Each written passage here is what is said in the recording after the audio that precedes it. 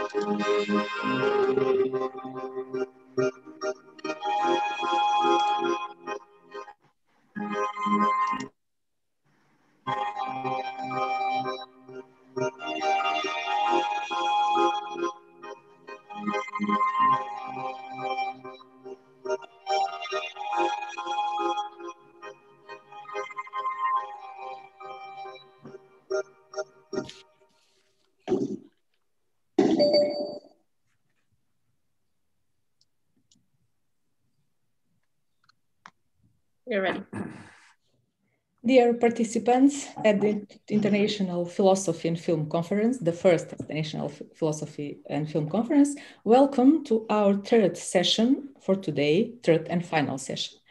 Uh, let me express one more time our gratitude for your willingness to be with us today and to share your thoughts and ideas uh, on those exciting topics of common interest. Um, our conference, as our joint intellectual endeavor, is the greatest proof of the autonomy and power of the space of thought, which is unaffected by the limitations of the physical space, obviously, because it has always been and, always, and will always be the space of freedom and togetherness. As you already know uh, by uh, our consulting our program, uh, on this session we have five lectures and one general discussion uh, in the end, in which uh, we can address many questions that uh, were left unanswered or undiscussed during the previous session, and also the um, lecture, the questions concerning the presentation and lectures in this session. I would also uh, like to greet our uh, live, our online audience and to remind uh, all the participants in the conference that are following uh, us by uh, live streaming that they can um, um, join the discussion by uh, writing their questions in the Q&A section. Our team will, will collect them and we will try to answer as much of them as possible. Uh, so without further ado, uh, ado, I would like to announce our first uh, speaker, uh, our keynote speaker in this uh, session. we are very honored to have Professor Dominique Chateau as our keynote speaker in this session in the conference. let me introduce just briefly Professor Dominique Chateau. He is a professor emeritus at the prestigious University of Paris 1 Panthéon-Sorbonne and member of the ECT Institute research team. Uh, uh, he has earned his degrees in philosophy and logic at the Sorbonne. Uh, he taught uh, aesthetics, philosophy of art, and film studies. He is uh, also currently a lecturer uh, at the École supérieure du paysage in Versailles and editorial director of the Nouvelle Revue d'Esthétique. Uh, he is uh, author of many books, uh, including the following Plastic Arts, Archaeology of a Notion, uh, Cinema and Philosophy, Subjectivity in the Cinema, The Aesthetization of Art, Contemporary Art and Cinema, after Charlie, The Denial of Representation, a Japanese aesthetics, art and taste in floating mode, and also uh, um, the author of uh, still unpublished book, which is soon to be published uh, by Classiques Garnier, uh, entitled uh, L'idée cinématographique, the cinematographic idea. Uh, so the title of his uh, presentation is uh, a good, uh, I mean, um, um, another proof of the interconnectedness of uh, our different uh, cultural tradition paths and um, of the, the, these crossroads of questions of common interest. He will talk uh, about Milcho Manchevski's film Before the Rain. Uh, the title of his uh, lecture, keynote lecture, is The Film is Not Round, Milcho Manchevski's Before the Rain, 1994. So please, uh, Professor Chateau, the screen is yours. Thank you very much. Thanks a lot for uh, inviting me to this uh, film philosophy international conference. I'm very happy and much honored. Uh, great thanks to the PFF team, a special thanks to Anna, but now there is two Anna to thank.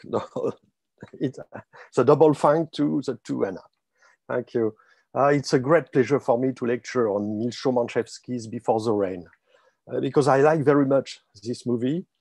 Um, perhaps because I particularly like films whose very structure is enigmatic. So uh, the film, the film is uh, is not round. Uh, uh I gave this title. I tried to to share my screen. Yes, yes, it is. Well, so I, um, I gave this title to my text for two reasons. Firstly, um, because Before the Rain is known to be complicated. Um, and for instance, uh, the French journal Les Inrocks speaks of a convoluted narrative structure. And uh, Jan Christie uh, writes of the film uh, as a never-ending story. So that's the first reason. The second reason is that my title has to do with the fact that the film repeats a strange sentence several times. The circle is not round. So the, the circle is not round is a kind of motto.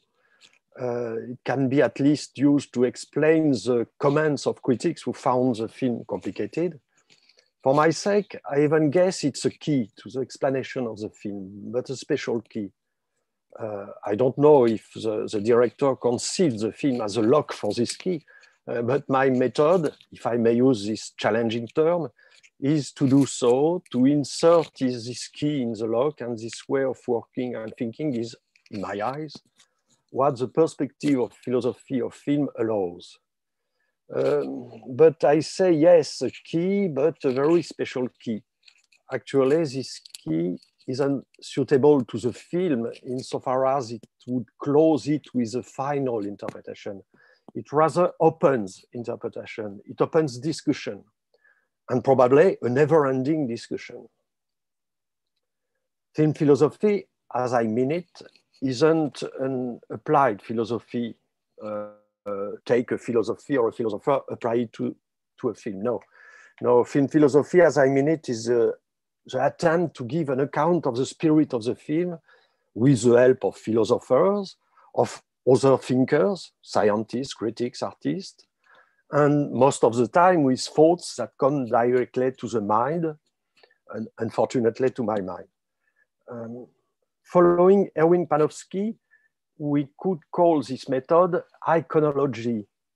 Uh, that is a way of considering a film, I quote uh, Panofsky, which one could name a philosophy if it would have formed a rational system. So if it would have formed a rational system. Yes, although a film isn't a system, at least not in the same sense as a philosophical discourse. Moreover, regarding before the, the rain, before the rain, the search for a rational system is likely to be disappointing. Uh, in any case, if we associate to rationality the ideas of order, logic, and normality. If before the rain has to do with logic, it's in a broad sense. More exactly, in the sense of this special type of logic, which is called paraconsistent logic. Uh, that, that is a logic opened to contradictions. So this special type of, lo of logic uh, will be my special key. To begin, we have to face the contradiction between circle and round. Uh, this idea of uh, circle that is not round makes me think irresistibly to the Zen circle, the Enso, uh, a symbol of both emptiness and completion uh, that appears frequently in Japanese painting and calligraphy. Made by hand in a single jet, uh, in this case, uh, circle painted with a single brush stroke of Hakuin Ekaku, um, it has both the perfection of the circle and the imperfection of the instantaneous and motion. The Zen circle is never quite round. It is a broken um, or blurred or associated with some sign of imperfection. You see, uh, in this case uh, of uh, this, uh, this painting of Takuan So, uh, an, uh, an old rusty nail associated with the circle. So it's a, the, the, the rusty nail is imperfection, uh, decay of time, and so on. Of course, I don't claim that Before the Rain is a Zen film. I don't know if it, if it is a Zen film. Simply inspired by the philosophy of the Zen circle and my modest Japanese culture, I tried to communicate with the content of the film through the analysis of the way it's organized around its leitmotif. So if, if I can say, uh, if I could say that, uh, uh, my main thought about film philosophy is that philosophy doesn't only make explicit what in the film is implicit, but faces a challenge to give an account of the very fact that what philosophy can make explicit remains implicit in the film. About Before the Rain, two questions come to my mind. The first one concerns its filmic structure as such, given the general tendency to qualify it negatively. The second one concerns the spectator activity, given the various assumptions that the complex structures of the film implies. Unlike criticisms that focus only on the film content, I think that structure isn't the business of analysts or theorists who benefit from converting the film into academic papers and lectures. Structure is strongly implied in the spectatorial activity, even if it remains unconscious and it weighs no less strongly on the aesthetic judgment. And Before the Rain perfectly illustrates this point.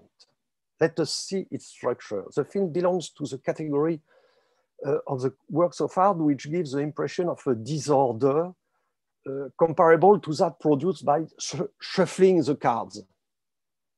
The film is divided into three parts, words, figures, images, their narrative succession looks clear, at least if we disregard the order of appearance in the film, an unexpected order or disorder.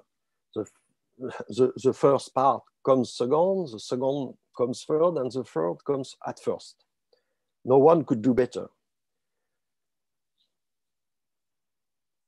Putting these parts in the right order we get, at least apparently, the simple story of a war photographer, Alexander, who leaving Anne, the woman he loves in, in London, returns to Macedonia to meet his childhood sweetheart, Anna, who asks him to protect her daughter, Zamira. And then Zamira runs away, takes refuge in the cell of a monastery where Kirill, a young monk and the photographer's nephew, falls in love with her. He protects her until she is killed.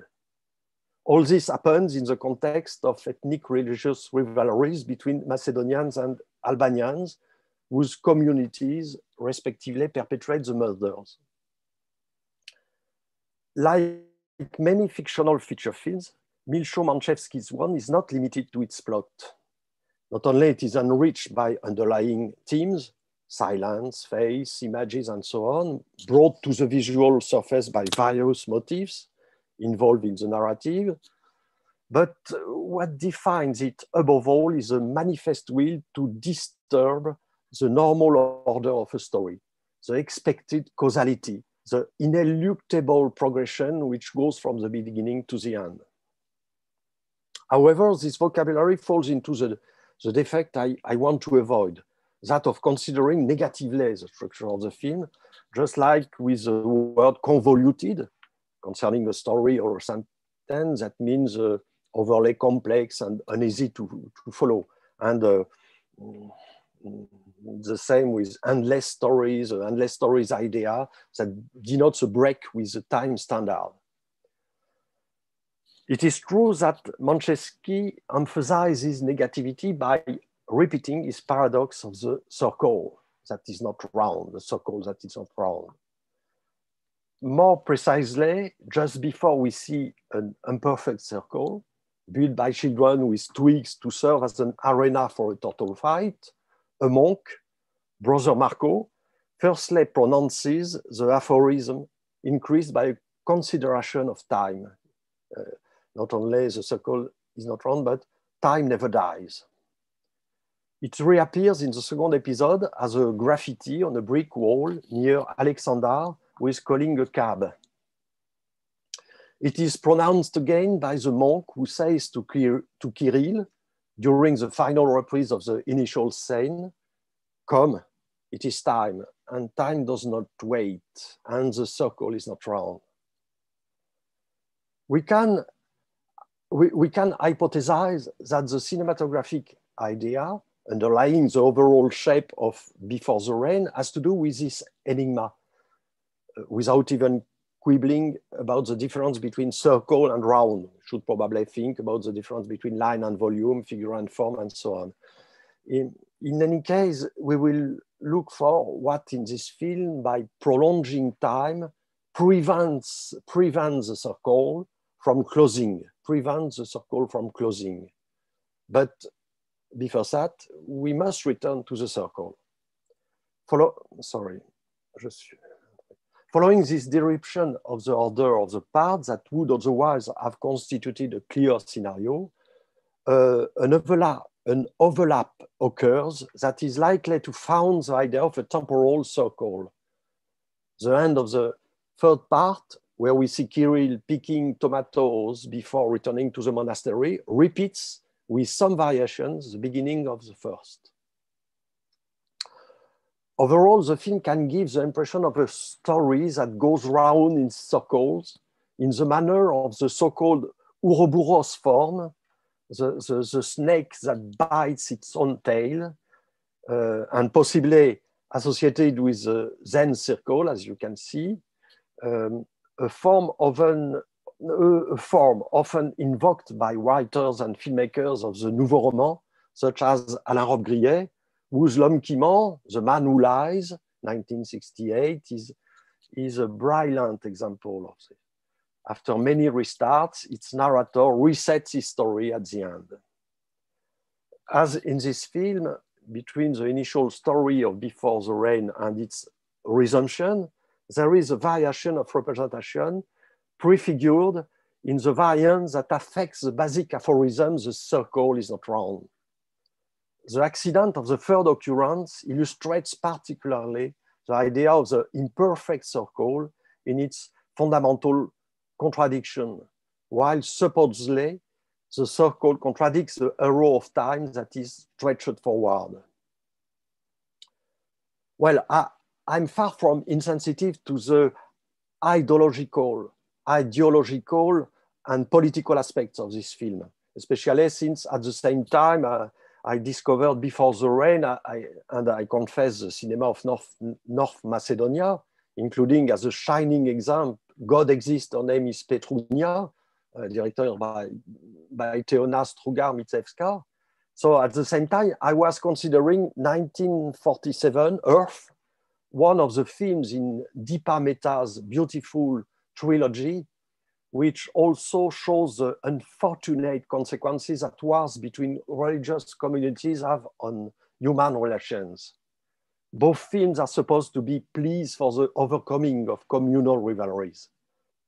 Uh, in, in, in Manchesky film, Kirill is Macedonian, Zamira is Albanian, Alexander is Macedonian, Anna is Al Albanian, and it is as if this transgression, trans, sorry, if, if this transgression of social religious barriers was passed from uncle to nephew, from Alexander to Kirill.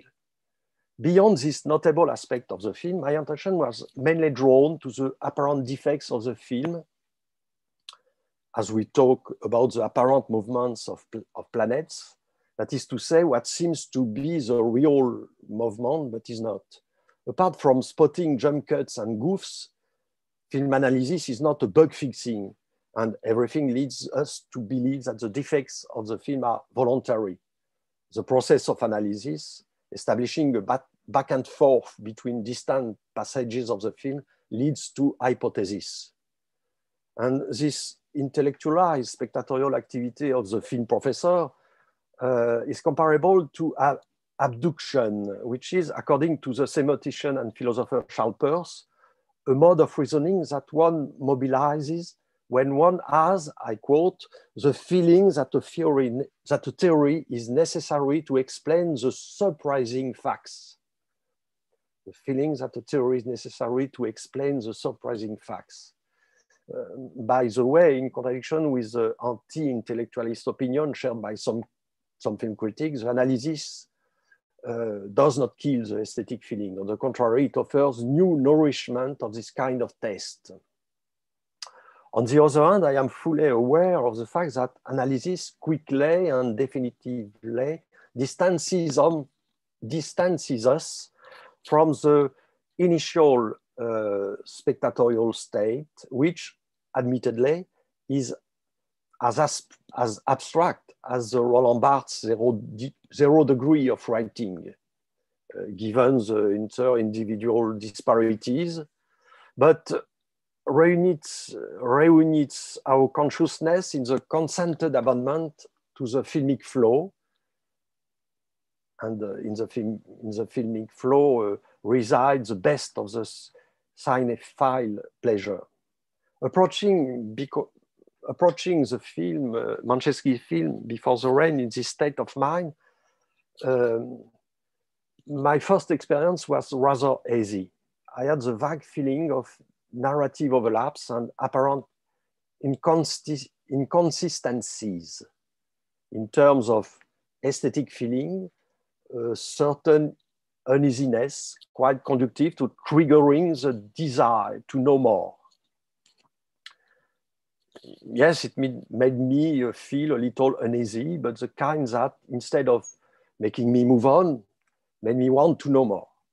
I then entered in what uh, Paul Valéry names the aesthetic infinity, uh, characteristic of the reception of artworks.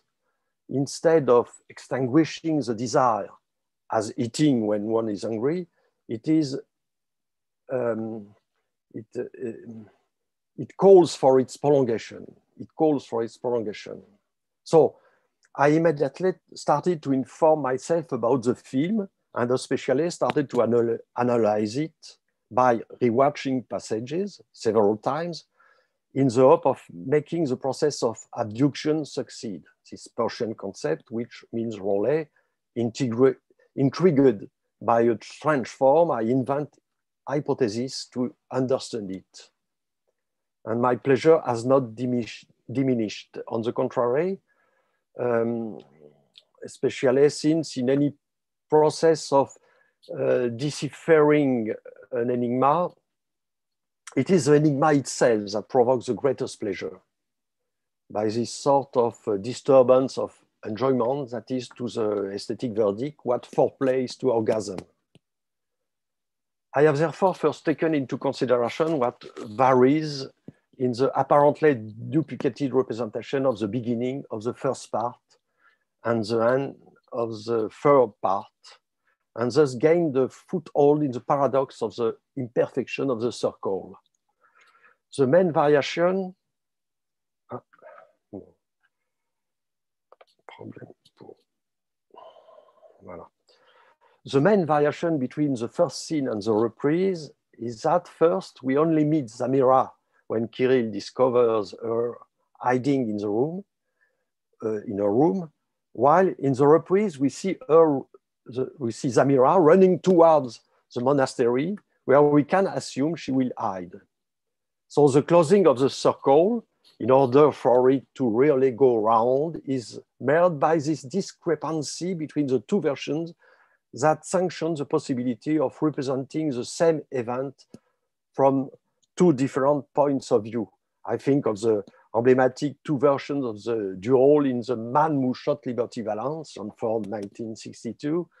The same scene is shown from two points of view, and the second one revealing uh, uh, reveals who really is the man who killed Liberty Valance. In fact, the theme of time that does not die is contradicted both by Alexander's time and the movie's time. For Alexander, time stops with his death. For the film, time stops exactly where the film stops. Because of this closed, finite, and ineluctable character of filmic time, uh, Jean-Paul Sartre said that the film is the opposite of contingency. Mm. Doesn't abolish this, uh, this true feature of the medium uh, insofar as no one escapes it, even by the longest film in the world.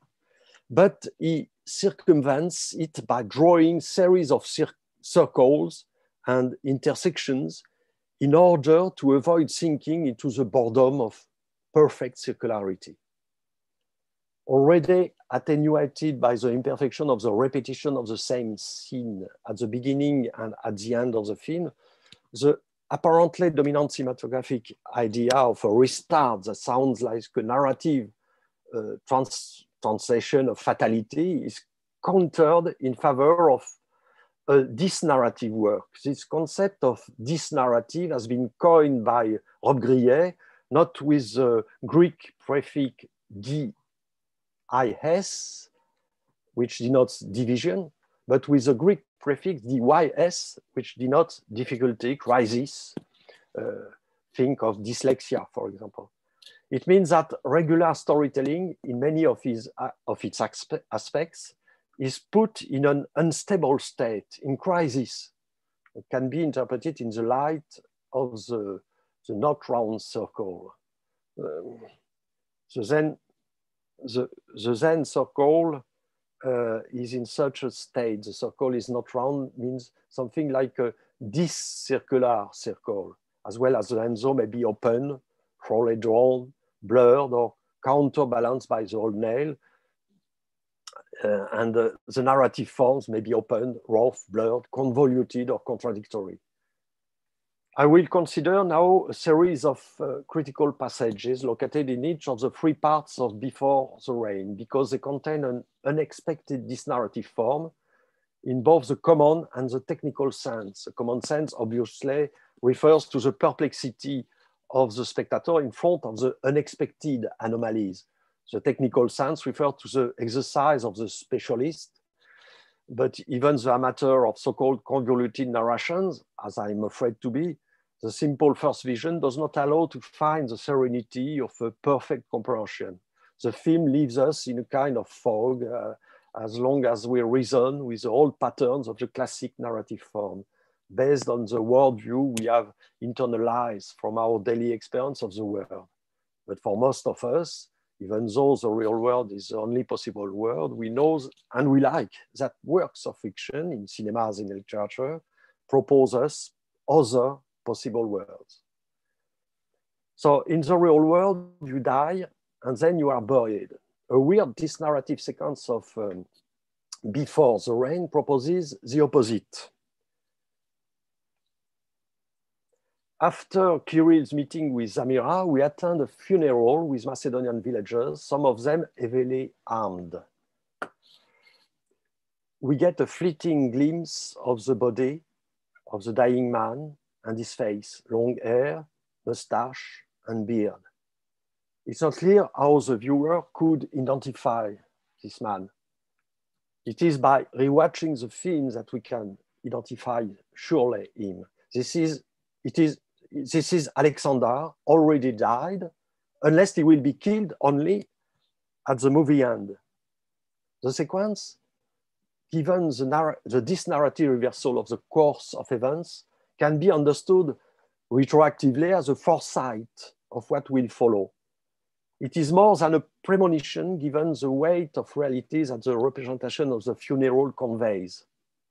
Immediately afterwards, armed villagers stormed the church of St. John at Kaneo and then the monastery in search of Zamira, this uh, Albanian young woman who is wrongly accused of having killed a Macedonian. Sometimes something strange happens again during the funeral. Suddenly, the camera pans to a young woman alone in the landscape who says, Oh my God. Clearly, she is witnessing the scene like the viewer. Is she the mediator of our gaze? This young woman is Anne, Alexander's girlfriend from London. But let's remember, we will only discover their relationship in the second part of the film. Moreover, there is no evidence that she made the trip from London to the Macedonian village. The opposite seems even more plausible.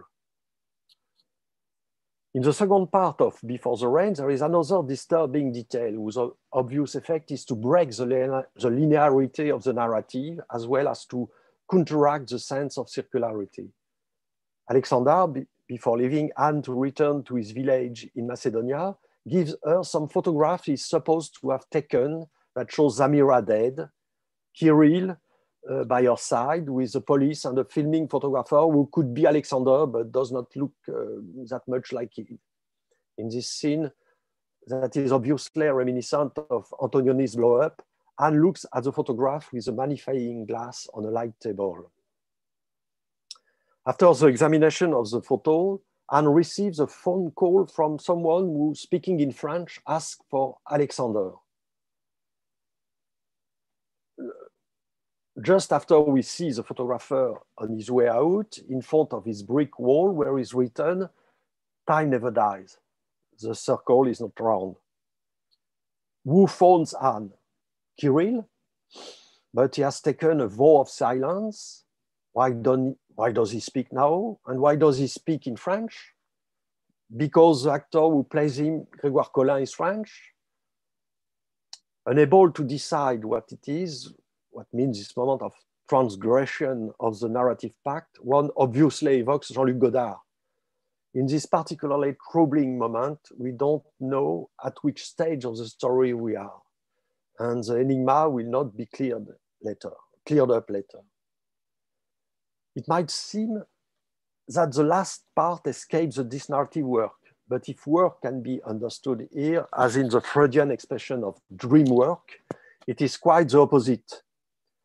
Alexander, Alexander has returned to his native land. Asleep in, in, in his bed, he is awakened by the village, village teacher who, um, after he has rejected her advances, asks him still dreaming about Anna. He finds, then he finds Anna with her family. She welcomes him freshly. But while, so that was uh, the preceding scene. So he, he, but while he leaves, uh, Anna addresses him a sustained glance. Anna Anne and this Anna, Anna, another Anna, Anna, Han, this duality is a crucial element of the film. Uh, because the second part focuses on Anne and the third one on uh, Anna. Anne tries in vain to reach Alexander by phone in Macedonia. The operator of the village post office does not speak English. This failure could have decided her to meet Alexander in Macedonia, as the shots of the first part might suggest, and she would have arrived too late to attend the funeral. But this hypothesis is no more substantiated than the rest. The film has resolutely shifted from Anne to Anna in parallel with the fate of Alexander. But it could be just um, as well that we are in a kind of twilight zone between reality and dream back, and, a back and forth between the two, the two zones. After various scenes concerning, among other things, the murder of which Zamira is wrongly accused. Alexander, once again asleep in his bed, sees Anna in a dream in the back of the room. He suddenly wakes up and says, Anna, but there is no one there. He goes to fall asleep again, and this time is awakened by a presence. First, the movement of a shadowy figure. Then Anna herself asking him to help her by protecting Zamira, as if she were yours, she tells him. Alexander has taken Anna's hand, this tactile contact intended to give physicality to the, say, to the scene, but nothing forbids, given the first scene where Anna appears fleetingly, to see it again as a dream or hallucination. I coined the, the concept of the film that dream uh, about David Lynch's Twin Peaks. Uh, the text on, on this concept appears in the book Story published by Amsterdam University Press. So I coined this concept in order to consider more carefully the fact that what Freud named the work of dream beyond the content, the content of a dream could apply to some kind of film structures. In the film that dreams genre, or kind of, the work of the dream characterizes not only what happens in the story, the dreams of the characters, but the narrative and formal structure of the film. In this kind of films, the normal order of the story can be disrupted. In Before the Rain, the narrative cards have been shuffled or rather reordered, reordered skillfully. Alexander is supposed to have filmed, to have um, uh, filmed in Macedonia the final scene of the first episode, while in the second part he's supposed to return to his country, while in the third he dies before Zamira to allow his escape to the monastery and so on. In this kind of film, structures at distance, what I call telestructures, are of particular importance. In any film where there are many references at a distance that serve to give consistency to the narrative, in addition to the relations of closer and order. In Before the Rain, there is more, a network of formal telestructures creating another film that is not only superimposed on the first film, above all, crosses it and innervates it with a neural network. Neural networks have the property of plasticity, and telestructures give plasticity to the film. Now, and to finish last, why Before the Rain? This is another leitmotif of the film, in addition to being its title. From the brother Marco, who evokes its arrival at the beginning and at the end, to Alexander's final line after his murder, it is omnipresent in occurrential link with the aphorism of the circle that is not round. So we can still make different assumptions. The rain may be related to the circle, to the cycle, the cycle of Mother Nature, or it may be a reference to the line of time that advances ineluctably.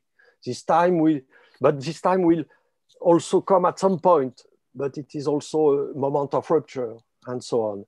Again, the circle is not round. Some people have only one idea to take shelter.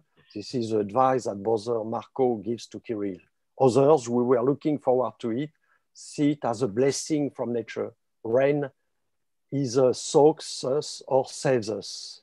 And uh, at the end of the film, the, the rain uh, washes away the blood from Alexander's wounds, while Zamira seems to enjoy for a moment the same rain that washes over her face.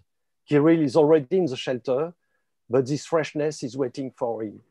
So here is again this underlying network, which I did not explore all the extent, which gives to Manchevski's work all its density, that of a film which does not turn around because it is detracted from itself. Uh, I have not analyzed everything.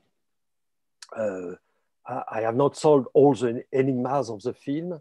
And this is why, after having enjoyed seeing Manchevski film and seeing it again and again after analysis, I continue to look at it with that kind of fascination with as for some theorists of the 18th century, in particular Archibald Alison, whose essays on the nature and principles of taste, 1890, are, are little known but great. So uh, it's, uh, it's for me the, the, this, this for me, the, that, that kind of fascination for me represents the art of aesthetic attitude.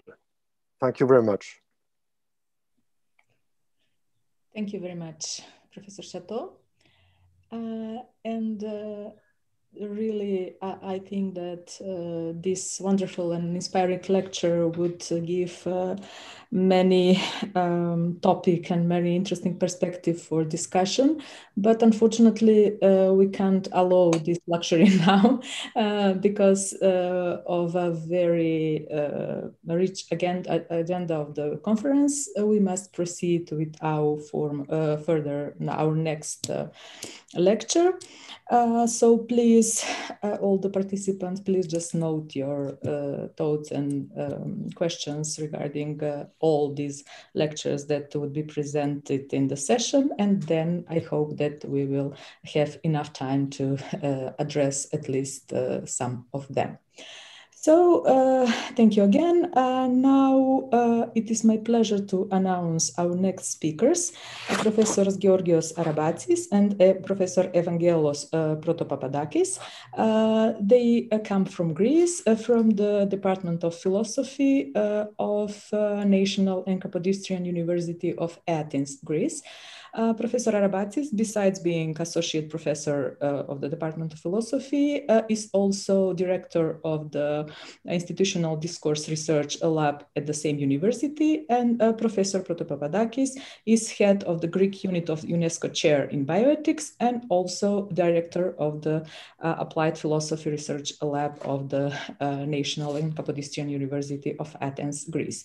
The title of their presentation, of their lecture, is a look, Besson's The Fifth Element and the notion of quintessence. Please proceed. The floor, rather the screen, is yours. Thank you, Anna, if I may.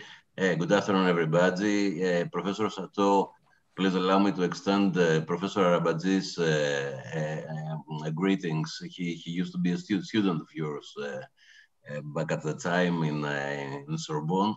Okay, I, unfortunately, uh, George Arabatzis is not able to be with us uh, at the moment because he has uh, exams. I'm having mine afterwards.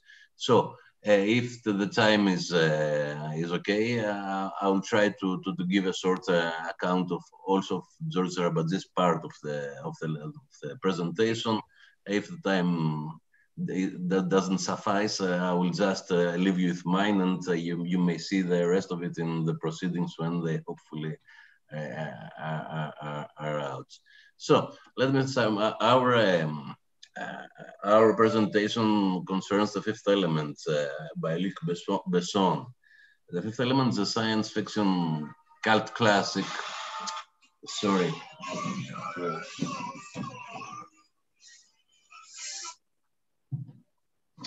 um, minor accident. Uh, these things happen when we're doing that kind of presentations.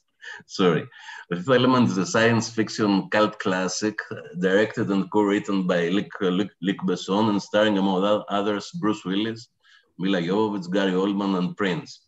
The title and the plot of the film refer to a central notion in Greek philosophy, to, to a, a, notion that is central uh, to Greek philosophy, that is pemptousia or quintessence.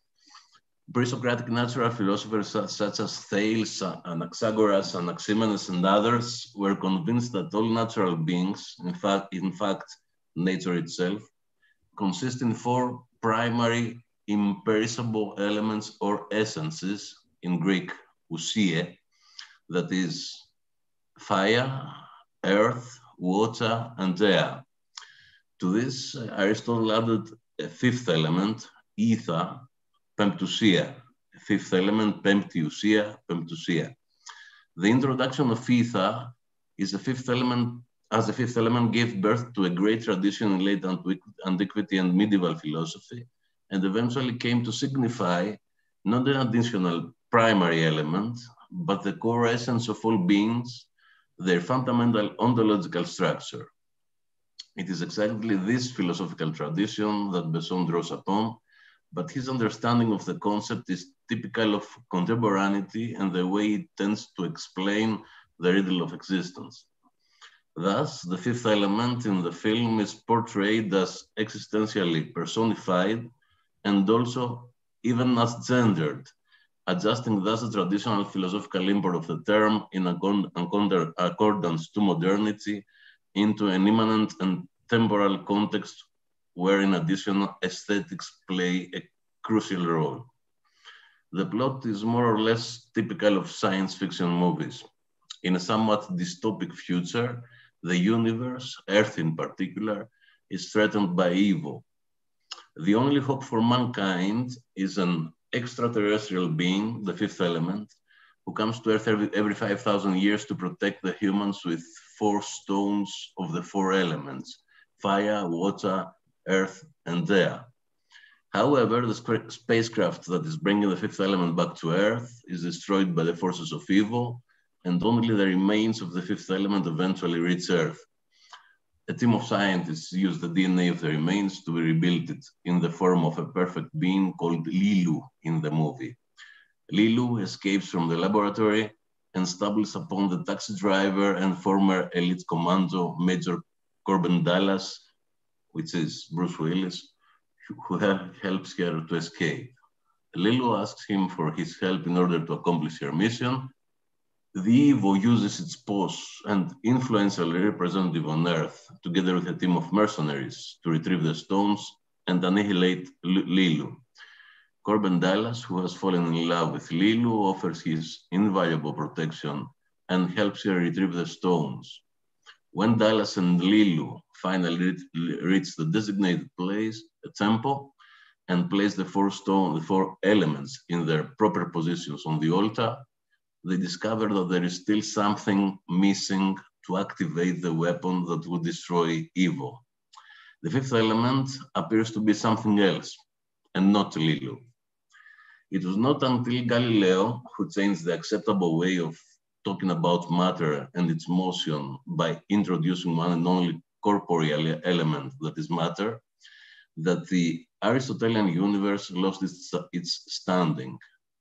Up to Galileo, Aristotelian, Neoplatonic, and scholastic cosmology distinguished neatly between super and sub sublunary regions. The super lunar region and the celestial bodies within it were composed entirely of ether. This fifth element, or quintessence, was devoid of all chains other than that of perfect, unending circular motion.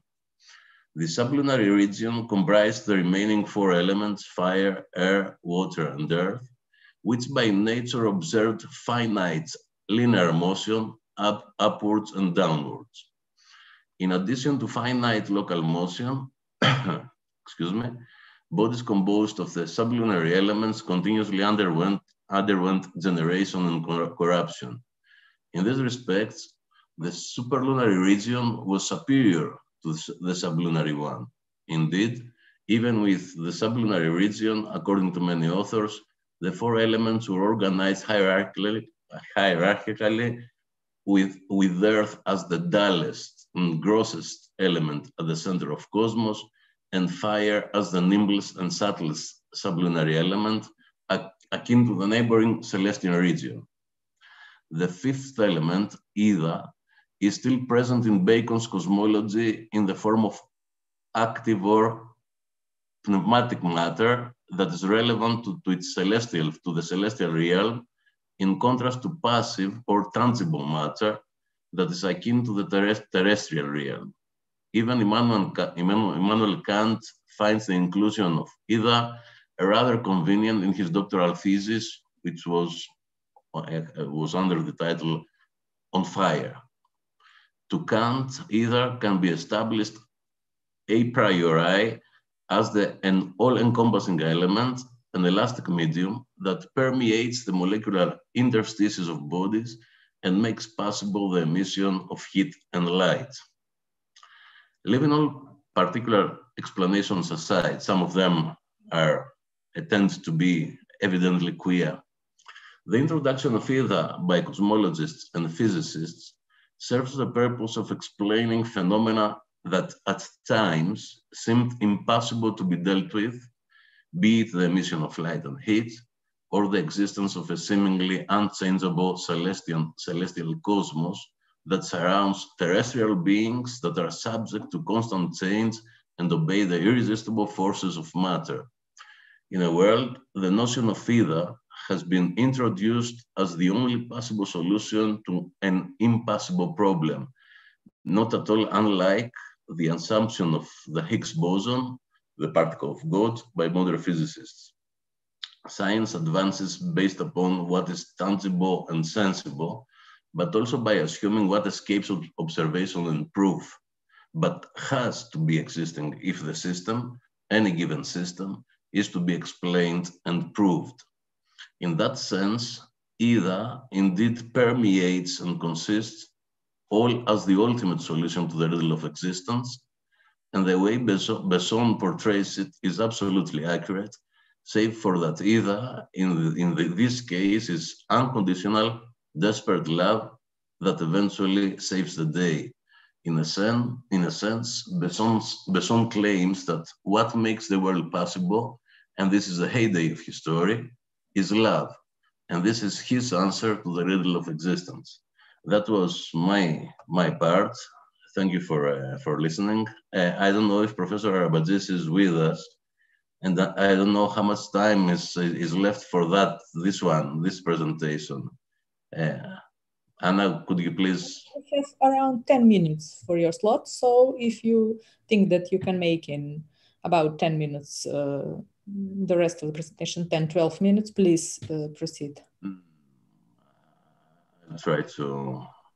And Professor Arabatzis is not in the room from what I'm seeing in the background. Yeah, he's, he's not in, in the room. Um, I'll try to, to give a brief, a brief account. Uh, uh, actually, this is not, not, not my part, and I, I probably won't do justice to Professor Arabatzis' uh, part, but I'll try to read, uh, read uh, a selection of what he has uh, written and sent me sent to me for for a case of emergency like like this one.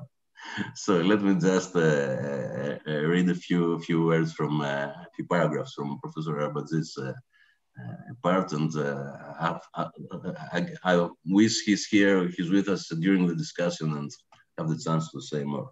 The cinema, the cinema goer enters the world of spectacle through channels that are rather familiar to him and are often, often none other than his well-known cinematic genres. I, am reading Professor Arabatzis' part. The various legible genres, uh, that is ad adventures, westerns, romance, comedy, detective fiction, etc., involve the sense of intimacy that is necessary to tune in to the rhythm of cinematic visioning that some film critics see it close to the pro process of hypnosis. The titles of the film intro, together with a musical theme, in addition to the information they provide, serve to calm the, the soul and the body of the viewer and to facilitate the basic psychological functions of watching a film, such as identification. Thus, a film in a hypnotic environment approaches very much the dream world, even in the waking state, as well as the desired images that are not missing from the common life, but are inserted in even the most ordinary activities. Among, among the most popular cinematic genres is that of science fiction, although it, in recent years it tends to be side, sidelined by the genre we call fantasy. As a genre, science fiction has a special interest as it is associated with the world, with the world cosmos in the two meanings that the term has, the, has had since ancient times. The world, first of all, refers to the physical species and bodies that make it up, to the forces and energies that, that are expressed and exercised within it. In the second sense, the world cosmos, as it was understood later in antiquity, is the crowd, the municipality, the people. These two concepts are still valid today in everyday language. As for the cinematic science fiction, it really connects the cosmological interest with the collectivity, yields to the applause of the society. See, for example, the great success of the Star Wars series. There is, however, another idea by which science fiction is associated with the world. It is the critical and sometimes satirical mood with which it treats the society, the, the social world around it. The future, the interplanetary action depicted in films is often nothing more than a, commentary on current social fiction. From this point of view, science fiction is particularly suited to the cinematic medium which, as we know it, is characterized by its realism, although in cinema, realism means the imitation of movement in terms of Renaissance perspective which in Western culture has taken the obvious feature of naturalness. In addition, the realistic nature of cinema, which one may perceive as ideology, allows for a much more dramatic performance of effects, for example, related to the stellar space. Thus, a script for a spaceship that, say, begins its journey in space when captured on the screen acquires real operatic dimensions. The fifth element relates to science fictions in a semi-parody, semi-loyal manner, and its genealogy of the metaphysical is a highly technical cult, in a highly, highly technical culture covers the metaphysical function, function of its technology. It is important to understand more widely that the most powerful rise of technoscience, such as the one depicted in the film, goes beyond European modernism and is, is a part of a long history, that of the in institutionalization of the technological spirit. This institution, on the other hand, is a purely metaphysical movement. Modern science, and uh, Anna, please, uh, when the time is near, just tell me. Okay. okay. Modern science as is well known, does not allow for itself any ultimate purposes, such as, for example, universal happiness, but captures and engages in processes of producing scientific ob objects under conditions of refutability rather than verifiability. Technoscience, on the other hand, sets clear historical aspirations such as man's domination of nature either as intellectual superiority that brings man closer to God, or as a simple domination of the human species over other natural species on the big stage of the world. Technoscience thus replicates the world in order to construct a world compatible with the desires of the subject of dominant, dominant action, conventionally called the human subject, such as the film spectator. In this way, technoscience begins by constructing a world image, or in other words, by constructing a system of general representations, and therefore is in fact a metaphysics. Human culture is distinguished by the transformation of natural species into cultural beings. The technoscience, however, in technoscience, however, this transformation is colored by destructive tendencies that lead to a kind of solipsism of the human species and in the film, it may, may be parallel to voyeurism. Five Nowhere, minutes. okay. please. Yeah. Around five minutes, if you if you can wrap. Uh, we five. still have, we still have five minutes. Yes, five minutes. I, I think they will suffice. Okay, thank okay. you. Thank you. Um, Nowhere else in this solipsism as obvious as in the modern development of the iconosphere or the dominance of the media. As time goes on, it becomes more and more obvious that one of the goals of critical philosophy should be the study, analysis, and normative determination of the new political universe. In this way, a new development in the critical effort has appeared, going from the linguistic turn of the 20th century to the iconological term of the 21st century. The fifth element is thus contributing to the above metaphysicism of the image and the parodic identification of, the met of metaphysical quintessence with, lo with love is situated on a field beyond criticism in a space that is both cinematic, typical, and semi-romantic. It is true that the film, in its newly hedonistic romanticism, with its adventure and special effects commercially panoply, does not allow for any measure of distanciation. Yet for us, the identification with the conditioned imaginary of the film is never total. There is a part that remains irreducible to cinematic control that would take the form of the technoscience of film viewing. There is still the nostalgia of the childlike universe of wonder and the desire proper to the body of the young woman protagonist.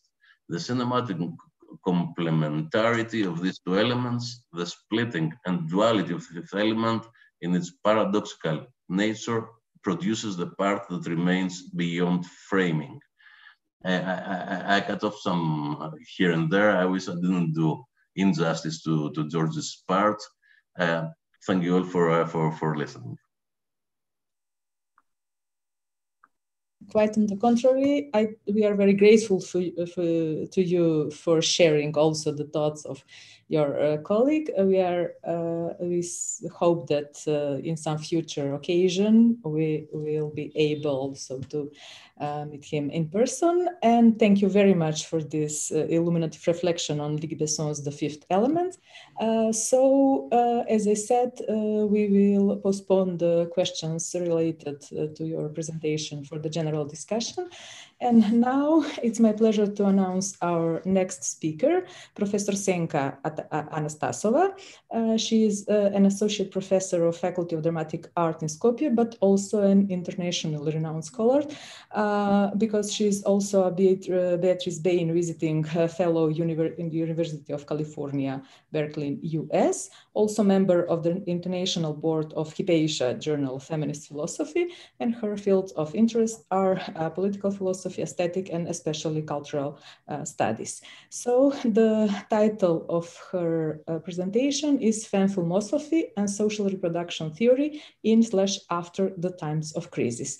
Uh, Professor Anastasova, please proceed. The floor is yours. Thank you. Hello, everybody. I'm really delighted to be a, uh, a part of this panel of discussions that uh, could open some another aspects of social reproductional theory related to cinematic thinking, philosophy, women uh, studies, and arts.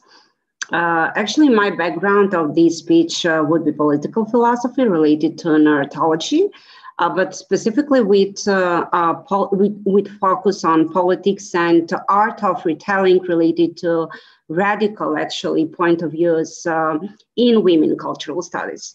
The last year really uh, was deeply dramatic period for all of us, long impossibilities to make predictable, even basic essentials for living and artwork, uh, film even creating. So this panel actually I find not just a space to talk today about film philosophy, uh, but to imagine uh, maybe a better world uh, for all of us uh, later and hopefully to open further conversation about possibilities of resistance in change into society. Yes, true narrative, but to go always beyond narrative. So today I would be focused beyond narrative. Uh, we start uh, from the narrative. And uh, thank you again uh, to the organizers for invitation and thank you to, to other panelists. Uh, it's really great to be here today. Let me give you briefly a sense of the structure of my speech. Uh, it would be related to feminist political economy, socialist feminism. Today is a date of, uh, day of youth in socialist uh, Yugoslavia. So I'm, I, I was born there, so I, I wish to stress that. And uh, actually, I would start with what uh, does caring economy means to me in times of crisis and related to cinematic thinking and how we shoot documentaries after times of crisis when we have beyond of um, or uh, on our back uh, that experience related to uh, to this pandemic and also our try uh, in struggle to talk about democracy today, especially connected to understanding of women documentaries. Uh, this would be a good start uh, to point out Marxist political theory, something I'm uh, working on related to new wave of women labor uh, documentaries. And there are possibilities for redirection now what uh, should be subversive uh, to talk about uh, in, in cinematic thinking uh, related to women labor in time of COVID and post-COVID times. We haven't had much production over the past year, so I wouldn't be focused on concrete, let's say, film, film analysis. But uh, I would discuss today more in a speculative way why these deeper reading of the intersectional feminism matters to the concept that I called fem philosophy or feminist philosophy, or where the direction are not just toward the philosophy, but uh, there would be an open door to political and social changes through film narrative about women labor and structural issues in society. Before going to develop these concepts, I would give, I, am gonna tell you what, uh, what happened uh, actually in my uh, modest uh, experience in uh, filmography. So I'm a member of the International Board of Hypatia or Hypatia, Journal of Feminist Philosophy. So last year in June, Bonnie Mann, a university professor of philosophy from Oregon, myself and uh, Brooke Burns, she's a student of philosophy, uh, same from Oregon, we created a film produced by Cambridge. So the name of the film is Gathering Feminist Voices in Time of COVID. It's about 30 minutes, so it's really uh, very short and very new. Uh, Cambridge produces, uh, produced it uh, uh, two, two, two, months ago. Uh, really, it's fresh. So around 15 leading feminist global philosophers, we were speaking about the structural injustice unpaid women labor. So now COVID made more urgent these questions to be concerned against capitalism, especially that COVID normalized uh, in a negative way, forcing uh, always economy and profit to be at front instead, instead humans. So in Marxist capital, actually, that means that allowing capital to work its work with no guarantee the safety and long-term recovery of the post-COVID subjects. Uh, that's the monstrosity of capitalism, but also no open talks for any public health systems to be fully supportive in these scary times. No help, let's say, from the public institutions and all that is really feminist issue, especially when one want to turn off the socialist feminism to, to, to talk about social uh, organizing of the narrative to work in solidarity. Uh, so uh, today, I wish to point out what we have from epistemic injustice in cinematic thinking. How is that subversive for us uh, to talk about the sharpened situation of inequality, but also to talk about interconnection of a different crisis, financial, political, economic, even narrative crisis, bio crisis, or uh, how local government crisis that is actually really equal to health crisis respond to all these uh, situations. So that's why I'm gonna talk about social reproduction crisis and how capitalism attacks public services and put on the impossible condition and always forcing economy and profit instead humans. So this film is not actually a classy documentary. We were gathering in front of our phone cameras. We were shooting ourselves. Everything is static, but the focus is on retelling our stories from the quarantine.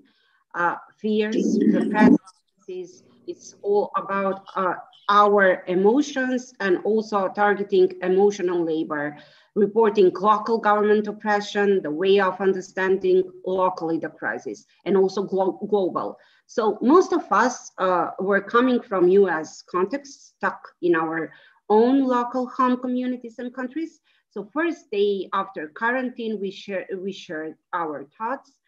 Uh, the mind was uh, uh, focused uh, first our impression about lockdown, uprising against systematic economic uh, and from US context racial injustice, but, but also we were discussing more about unpaid and paid labor and um, how can actually government, if, if they want, how they could reorganize the society and uh, how it shows uh, uh, the, their sensible connection to, to people. Um, that's why I, I, wish to stress that uh, human lives and uh, the, uh, that narrative that we want to, to explore was related to the whole capitalist infrastructure that um, in time of COVID uh, or COVID just wrapped up in a sense of uh, that thought of slow response for help, so, slow response to, to, to cover uh, the processes that could be uh, um, in a mutual aid for all of human. Uh, in, in this humanitarian disaster and uh, collapsing of medical system at all, which is a, actually a class war and systematic structural injustice about uh, not, not just emotional labor, but care work, care infrastructure, care, caring invisible and visible or not yet visible fragile structure, uh, subjects. Uh, I'm gonna make a circle of this introduction. So uh, in this film, we were uh, uh, kind of imagining a world after, and uh, uh, as I said, it was uh, it was done last year with reflection on, on maybe activism and the question where we go from from here now. So the film started with very good narrational voices of Chris Stilley. She's professor uh, from Stanford University, and she was uh, a kind of auctorial narrator. Uh, she, she connected all of the narration between us. And um, she's from Stanford, and she says at the beginning, the revolution would not be televised since would be always too early and too late for that. Uh, there are several sections into the film like, uh, as I said, uh, intersectional feminism, domestic work, local organizers, uh, organizing of, of the frontline workers, and those people in struggle, like paid caregivers that are not paid actually for this essential work, or caregivers as a really sensible category that actually are economic, economically fra uh, fragile. Fragile. So see, since they um, they're doing their work with no economical compensation and their uh, consequences um, of the some kind of intimate nature of their work itself, and that work is really specific with the COVID exposure, like talk today about uh, let's say intimate economy at nursing homes maybe uh, that are COVID hotspots, but also gray zone of the households where home um, for all of us is not the same place uh, of equality or safe place for living.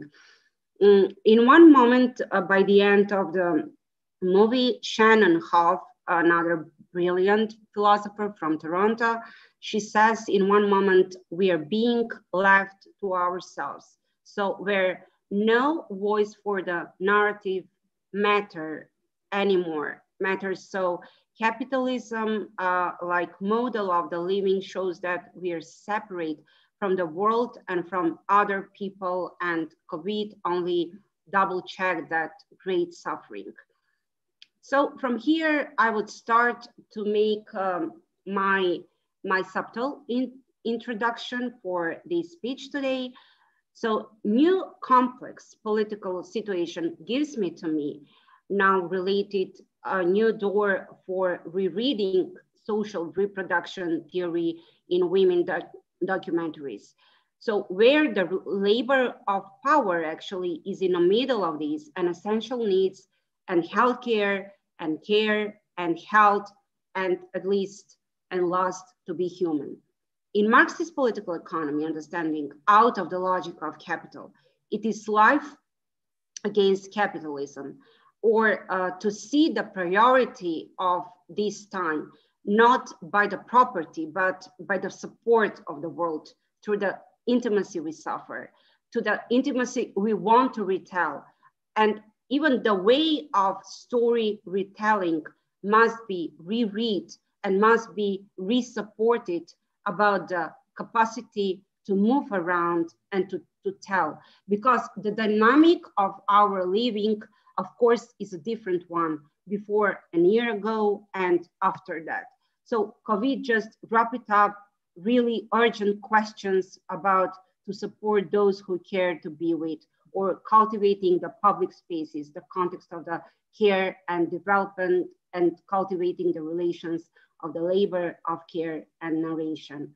So first, why documentary cinema, cinematic thinking in women labor history and documentary, I find important for developing the concept of fem philosophy or feminist philosophy and how it could be connected to social reproduction epistemology today, beyond narrative and beyond narrative limitations and connections to politics, but still in making post-politics cinema and cinematic thinking.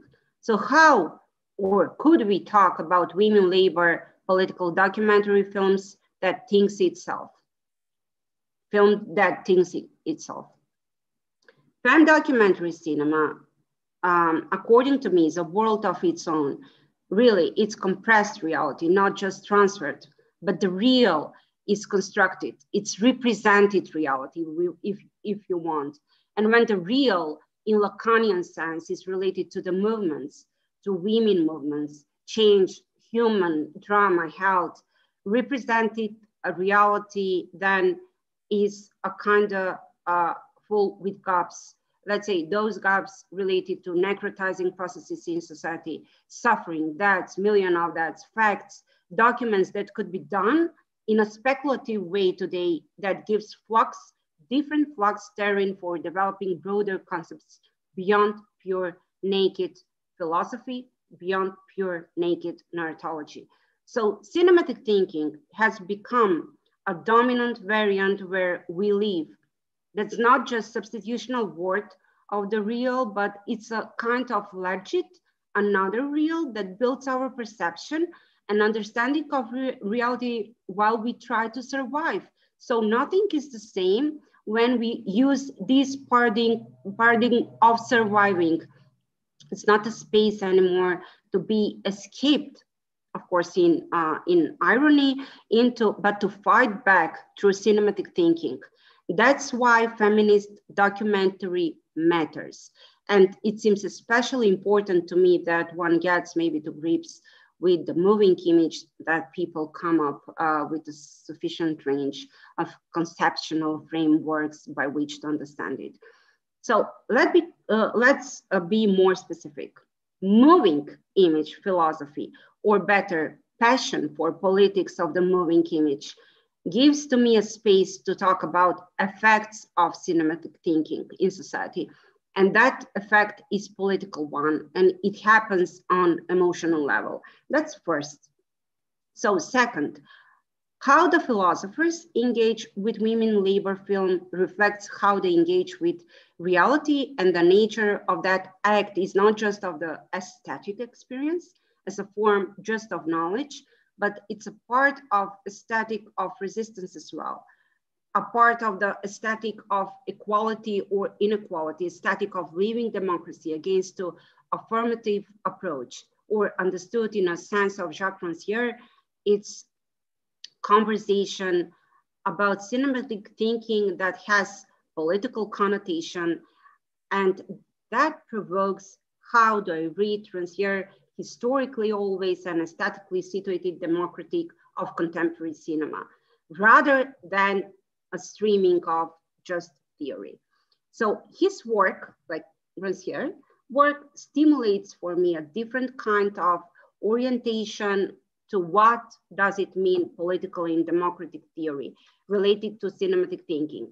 And here I'm reading that Rancière offers a kind of tool or new tools for a new topography in cinematic thinking through politics. In a sense, yes, or maybe Foucault a little bit and Deleuzian investigation into micropolitics of the other. But Rancière is, is more focused on something he mentioned like the axioms of rupture or the axioms of emergency of what he dismisses as the radical experience of the heterogeneous discourses. Rancière is really not a thinker of the event like Badiou is. Uh, but he's rather a thinker of emancipation as something with, with its own, with a history that isn't just made up of great striking deeds, for example, but um, efforts of the democratic consensus always already. This line of arguing uh, is cinema uh, for it's important to me for cinematic thinking related to women labor documentaries because it gives me a kind of cross meta uh, intradisciplinary power of aesthetics, philosophy, historiography, education, as well literature, film, of course, that um, fem filmosophy as a concept for me is rooted always in everyday theory of political subject, subjectivization and democratic appearance, appearance through the power of the people. So this is very important because the power of the audience actually something that is reenacted into the narrative. So the processes are really different because if we talk on that way that the power of the people, the power of the audience is reenacted by the political subject, then could we talk about the real documentary cinema that could bring the change while we shoot, uh, we are shooting them? So this is really very sensitive question to me because in documentary cinematic thinking, the focus is not on image, I think, but on the co connection between image and politics. Documentary cinema must be explored besides the evocative images and to go deeper through interdisciplinary that is always trans, that is always cross disciplinary and aesthetics of knowledge. We know what does it mean from the Birmingham School and the left-wing politics and also post-colonial critique and even Stuart Hall works. So to make it clear how documentary cinema is actually opening to social reproduction theory. We know that in a sense of Kant, for example, that we are not just aesthetic beings only during some forms of contemplating happening in front of artwork. We're thinking in a sensitive and political way to give a subversive scream and to talk about essential stops, especially in times of crisis. That is a statical way of thinking all the time and to respond to the actual time, framing our minds that would be ready to resist. So to think aesthetically, for me, is like in a in Rancière way to make disruptions or serial disruptions of cinematic way of thinking still in a linear way.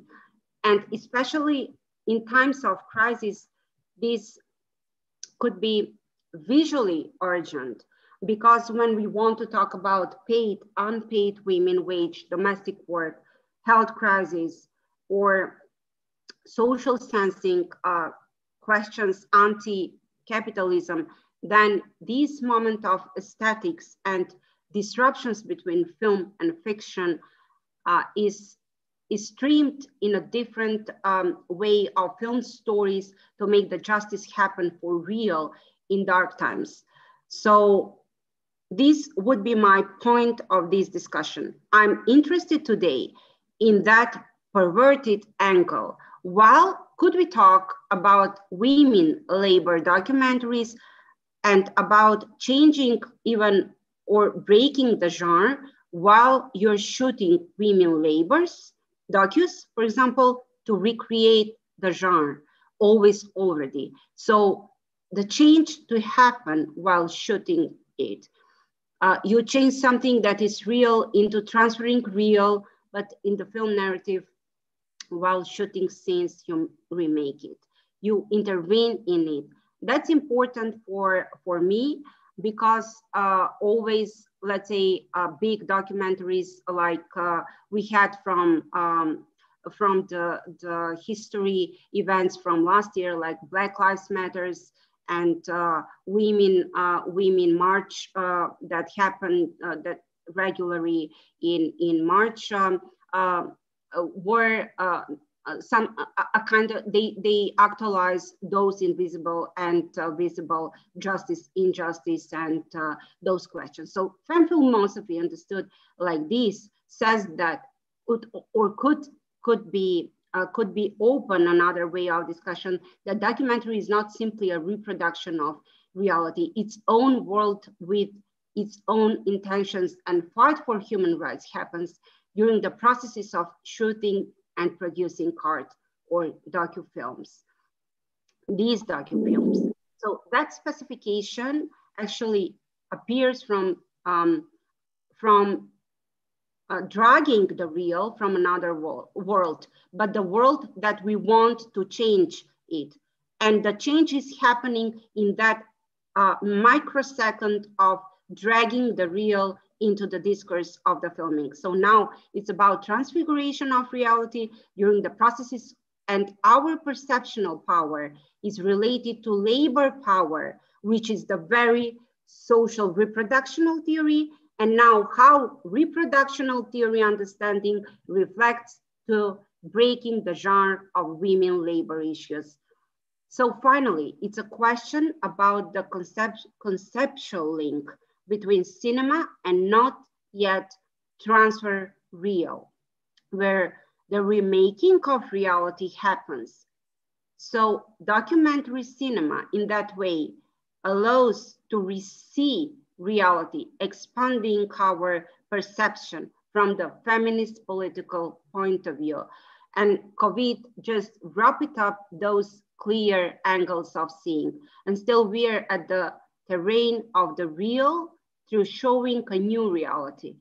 Could we talk about documentary challenges that uh, challenges our view of reality with forcing a phenomenological approach about how reality now is um, perceived, but not just uh, by our minds, but how reality is disrupted, rebuilt, rechanged in a long-term quality process against inequality while we shoot the genre, while, while we, we, we shoot the resistance.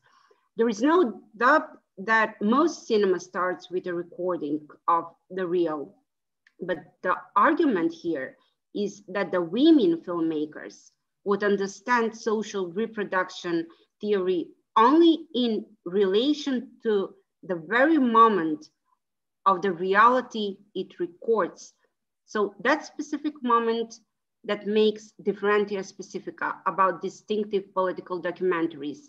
Here I can include uh, movies by Agnieszka Varda I, I work on and how she understands film theory seen in a significant, let's say, critical extensions by phenomenological, a phenomenological approach, philosophy and ethics, especially her cinema is actually the movement of the sensation offering potentially critical openings.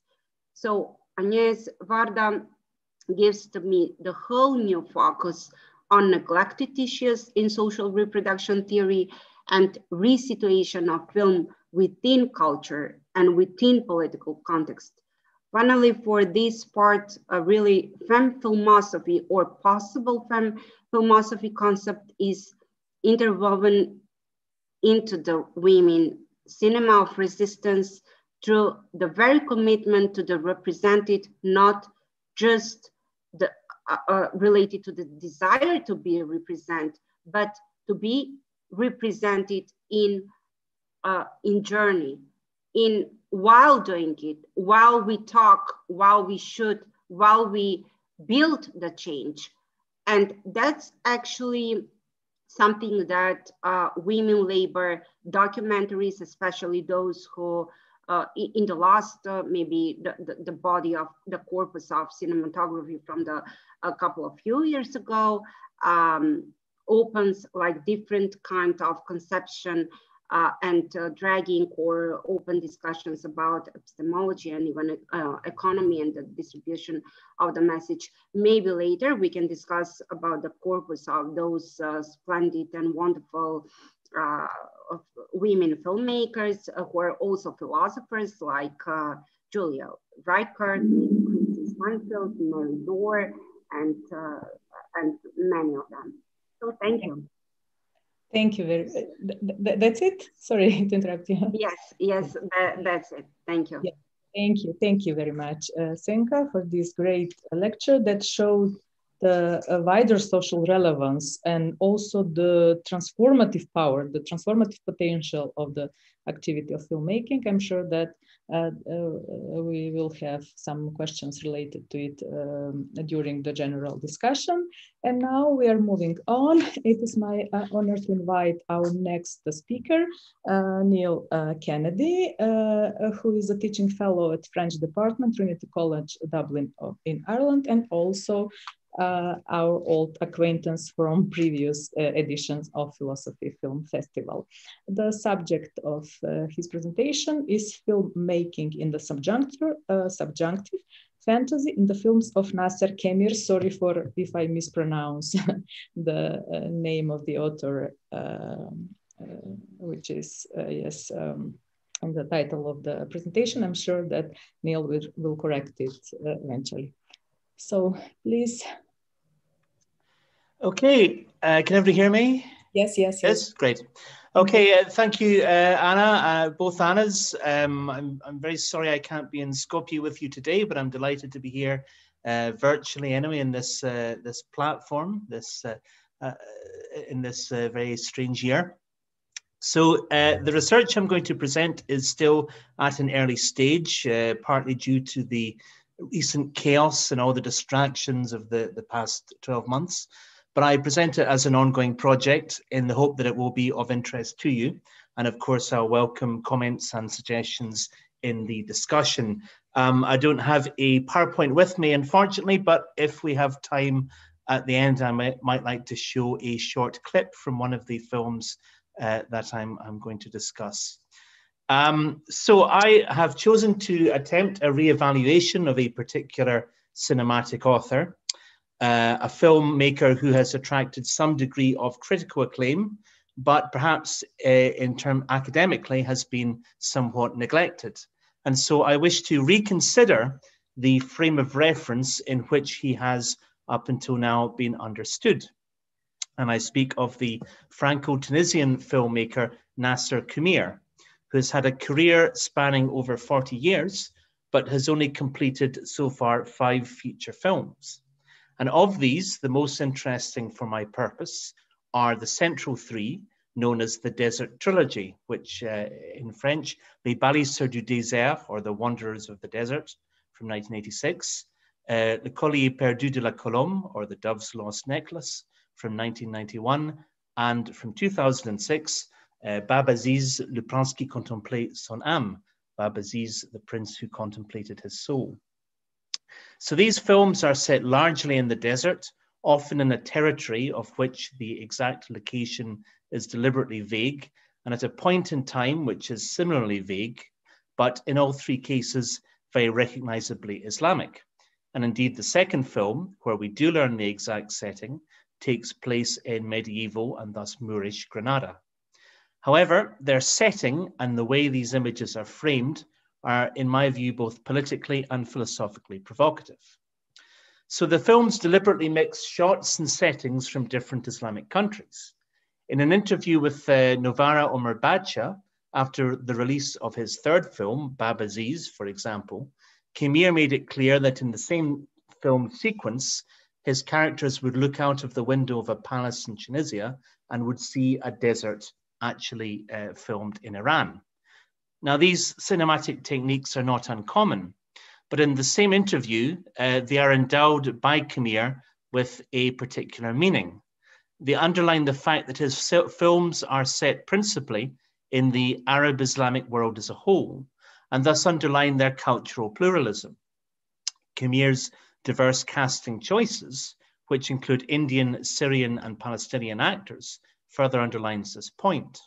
The desert, which Khemir refers to as a special character in his films, has its own abstract and constantly shifting nature, reinforced by these particular directorial choices.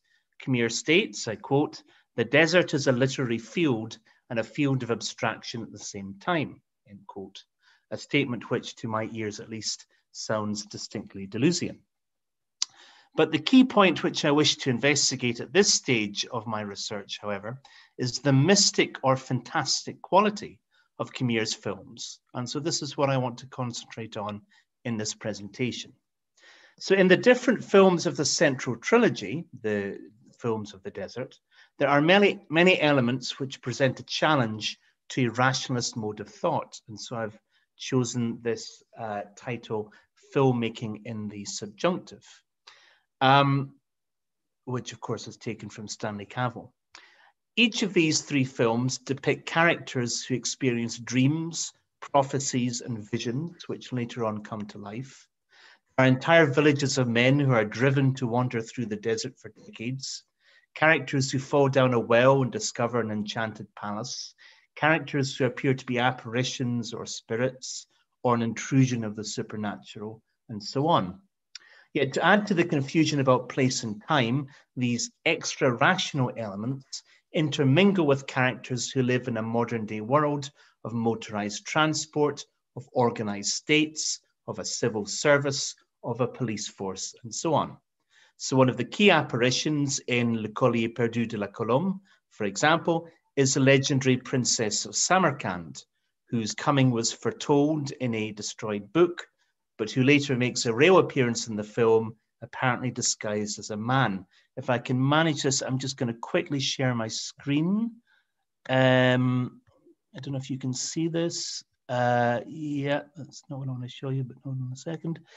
Um, yeah, so this is the, so that's a still from the film. That's uh, the, Princess of Samarkand disguised as Aziz.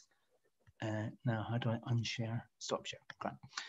Okay, um, good. So Mark Ames correctly notes the profound influence of oral story, storytelling traditions on Khemir's narrative structures, and in particular, folk beliefs in the presence of the invisible. However, for Ames, these influences are entirely Arabo-Islamic, drawing in particular on the Arabian Nights.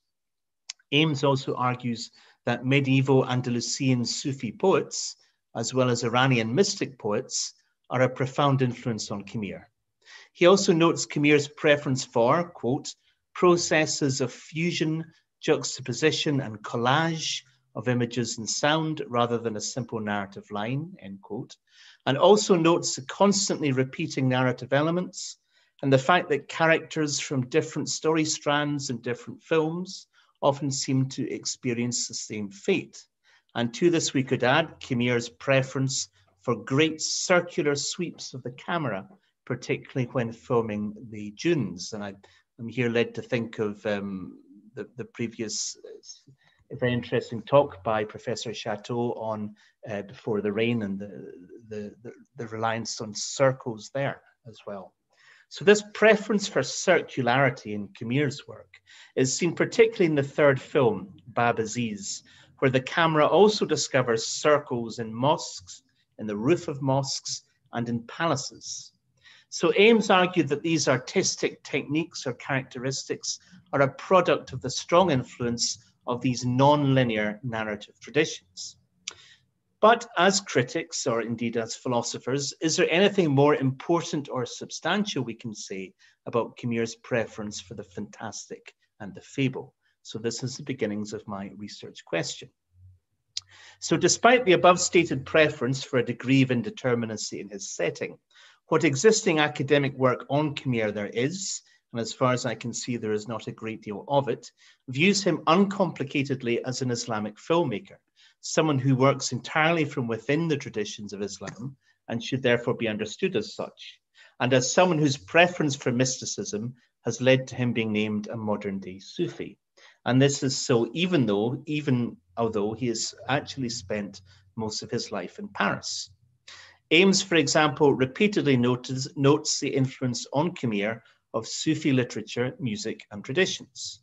Ridad Öztürk, writing within the discipline of film philosophy, also argues that Khemir's narrative techniques reflect his fundamental philosophical orientation, a way of understanding the world which is particular to Sufism. Sufism.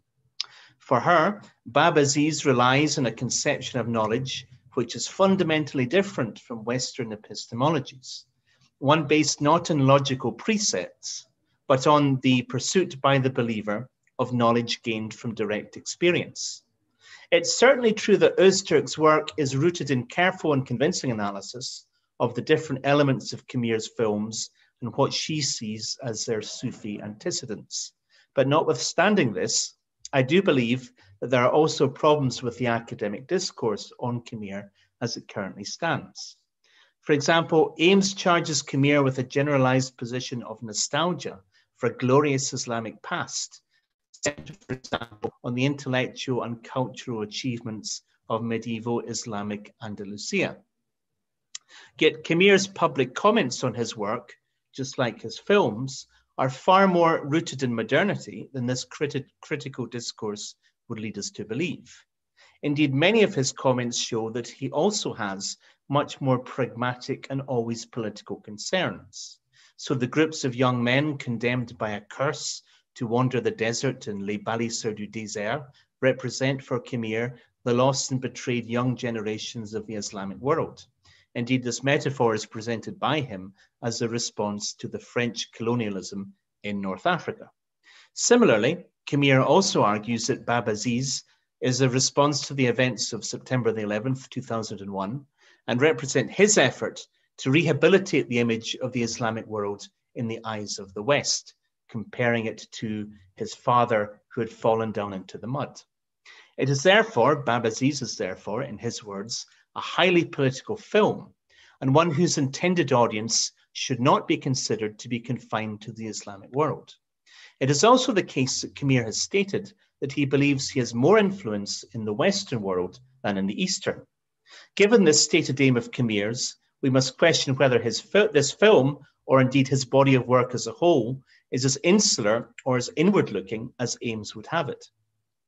So, despite the fact then that Khemir, as a global citizen crossing from east to west and back, clearly is deeply concerned with speaking to Western viewers, there has been little, in my view, critical and academic attention paid to potential readings of his work from outside the Islamic tradition, and for example, within this tradition of secular film philosophy, the kind of film philosophy that we are gathered here to discuss. So I wish to examine Khemir's work from this standpoint to see if it could lead to alternative valuable readings. Um, so far, and as I say, the research is in progress, but I have two key concepts from what the Western film tradition, which I would like to consider. Now, the first concept comes from the work of Stanley Cavell, who was, of course, a leading American film philosopher rather than French. Cavell himself wrote of the fantastic, or as he termed it, the uncanny, arguing that the uncanny is essential to philosophy. Cavell's description of the concept of the uncanny, borrowing from Tzvetan Todorov, argues that the encounter with otherness and the concomitant process of estrangement is at its heart. Cavell further argues that the literature of the fantastic is a necessary answer to prevailing philosophical skepticism, in that it is the only way for us to access what he calls the sublimity of otherness, allowing us to see through the eyes of another, another whom, as strict philosophical skeptics, we would not be able to prove even existed. Cavell says further that it is a medium of cinema which is best suited to an exposition of this concept of the uncanny, referring to cinema as a realm of the fantastic. As he states, quote, I have in mind film's unaided perfect power to juxtapose fantasy and reality, to show their lacing as precisely not special, end quote. In his essay, What Becomes of Things on Film, Cavell cited a number of films which he believed depicted the world of reality and fact and the world of wish and desire as being juxtaposed without any marking to set one off from the other, leaving the audience in what he terms a state of uncanny disorientation. While the filmmakers he cites are mostly Western, and include Ingmar Bergman, Louis Buñuel, Jean-Luc Godard, and Alfred Hitchcock, as well as the Japanese Kenji Mizoguchi. There is nothing culturally specific about this analysis, which would preclude Khemir's name from being added to the list. Indeed, it would be entirely in line with Cavell's argument to note that many of Khemir's fantastic visions are driven by desire, in particular desire for mysterious female figure, as in the image I, I showed you before. So in this respect, the fantastic elements of Khemir's Desert Trilogy could, according to Cavell's concept, be a way for the Western viewer to access the extreme otherness of the Islamic world. And to pursue this line of argument, I believe we can make a further connection between Cavell's work and French film philosophy, in particular the work of Jacques Rancière, though I would state that at this point my remarks are, are very tentative. Like Cavell, Rancière believes that a politically progressive art, regardless of medium, serves a function of disruption, not by, uh, not by uh, imaging any great radical scheme for social change, but by producing an endless variety of small ruptures to the prevailing political, social, and ethical norms. Using techniques of discontinuity, disruption, and ambiguity, cinema, just like other art forms, can challenge and disrupt dominant representations of sense, not just in the field of aesthetics, but also in the field of politics, at the same time as challenging classical representational models. So as Rancière has written, cinema, quote, has to consent to be nothing but the surface, with the experience of those who have been relegated to the margins of economical circulations and social traje trajectories can be organized in new figures, end quote. While Rancière also believes that cinema has failed to live up to what some early film theorists believed was its promise, that of being the first pure art form, he still believes that real political and ethical potential exists in the exploring of the gap between the real and the unreal the documentary and the fiction, the narrative and the spectacle. So I would like to suggest that the ambiguities, the discontinuities, and the fantasies at the heart of Khemir's highly political films might also be val valuably analysed from the perspective of Western and secular film philosophy. And indeed, I would like to suggest that these ambiguities and discontinuities are a way for the Islamic filmmaker to overcome the critical and aesthetic marginalization of his subject and to disrupt the regime of sense which accomplishes that marginalization. And I just wonder if I've got a couple of minutes, would I would it be okay for me to play a clip? Is that right? Yeah. Yes, so great. So uh, how how long do I have left roughly, Anna? Do you mind?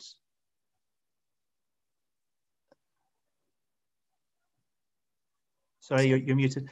Uh, yeah, yeah, yeah. Sorry, sorry. uh, so it's five oh four now. I think a couple of minutes, five minutes, uh, we can allow. Okay, so I, it's only a couple of minutes. A clip I want to show. Um, I'm just going to share my screen, and if I get this right, uh, I'm using VLC Media Player. Um, hopefully, you can see this. Is that? Uh, yes. can just shout. Neil, did you take the sound and the video like when you're sharing the screen? Because that's the way how we can also have the sound. Uh, could I do what, sorry? When you share the screen, there are the two boxes that you Oh, yeah, you're so right. We can also hear the sound.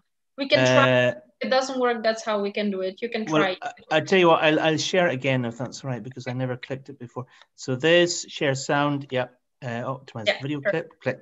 Okay, good. Um, right, so I, uh, uh, uh, uh, so this is uh, from the third film, Bab Aziz.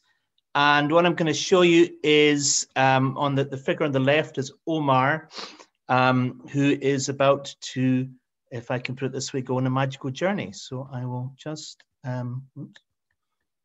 why is this not, why is this not doing anything?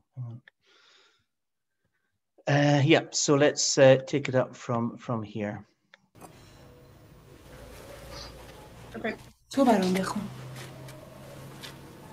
أعانقها والنفس بعد مشوقة. إليها وهل بعد العناق تداني؟ وألثم فاها كي تزول صبابتي. فيزداد ما ألقى من الهيام بیچاره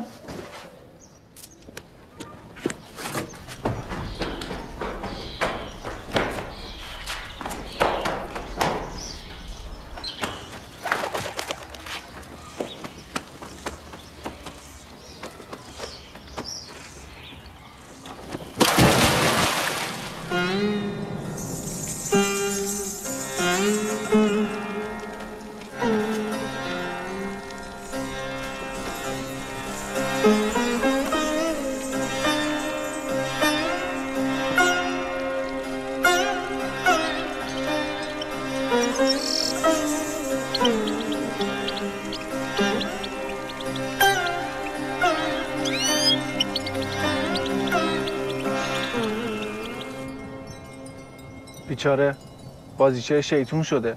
من فکر می‌کنم خداوند جلوه ای از بهشت رو برایش نمایان کرده. بهش در چشم کسی که با آن بنگرد. وقت اللي تحت في البير. لقيت روحي في قصر ودايرين بيا برشا بنات. كلهم حبوني انما حبيت كان زهر. حبيتها تجي معاي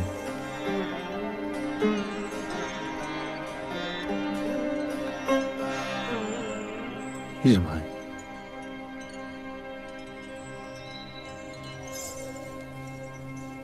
نگاه کن.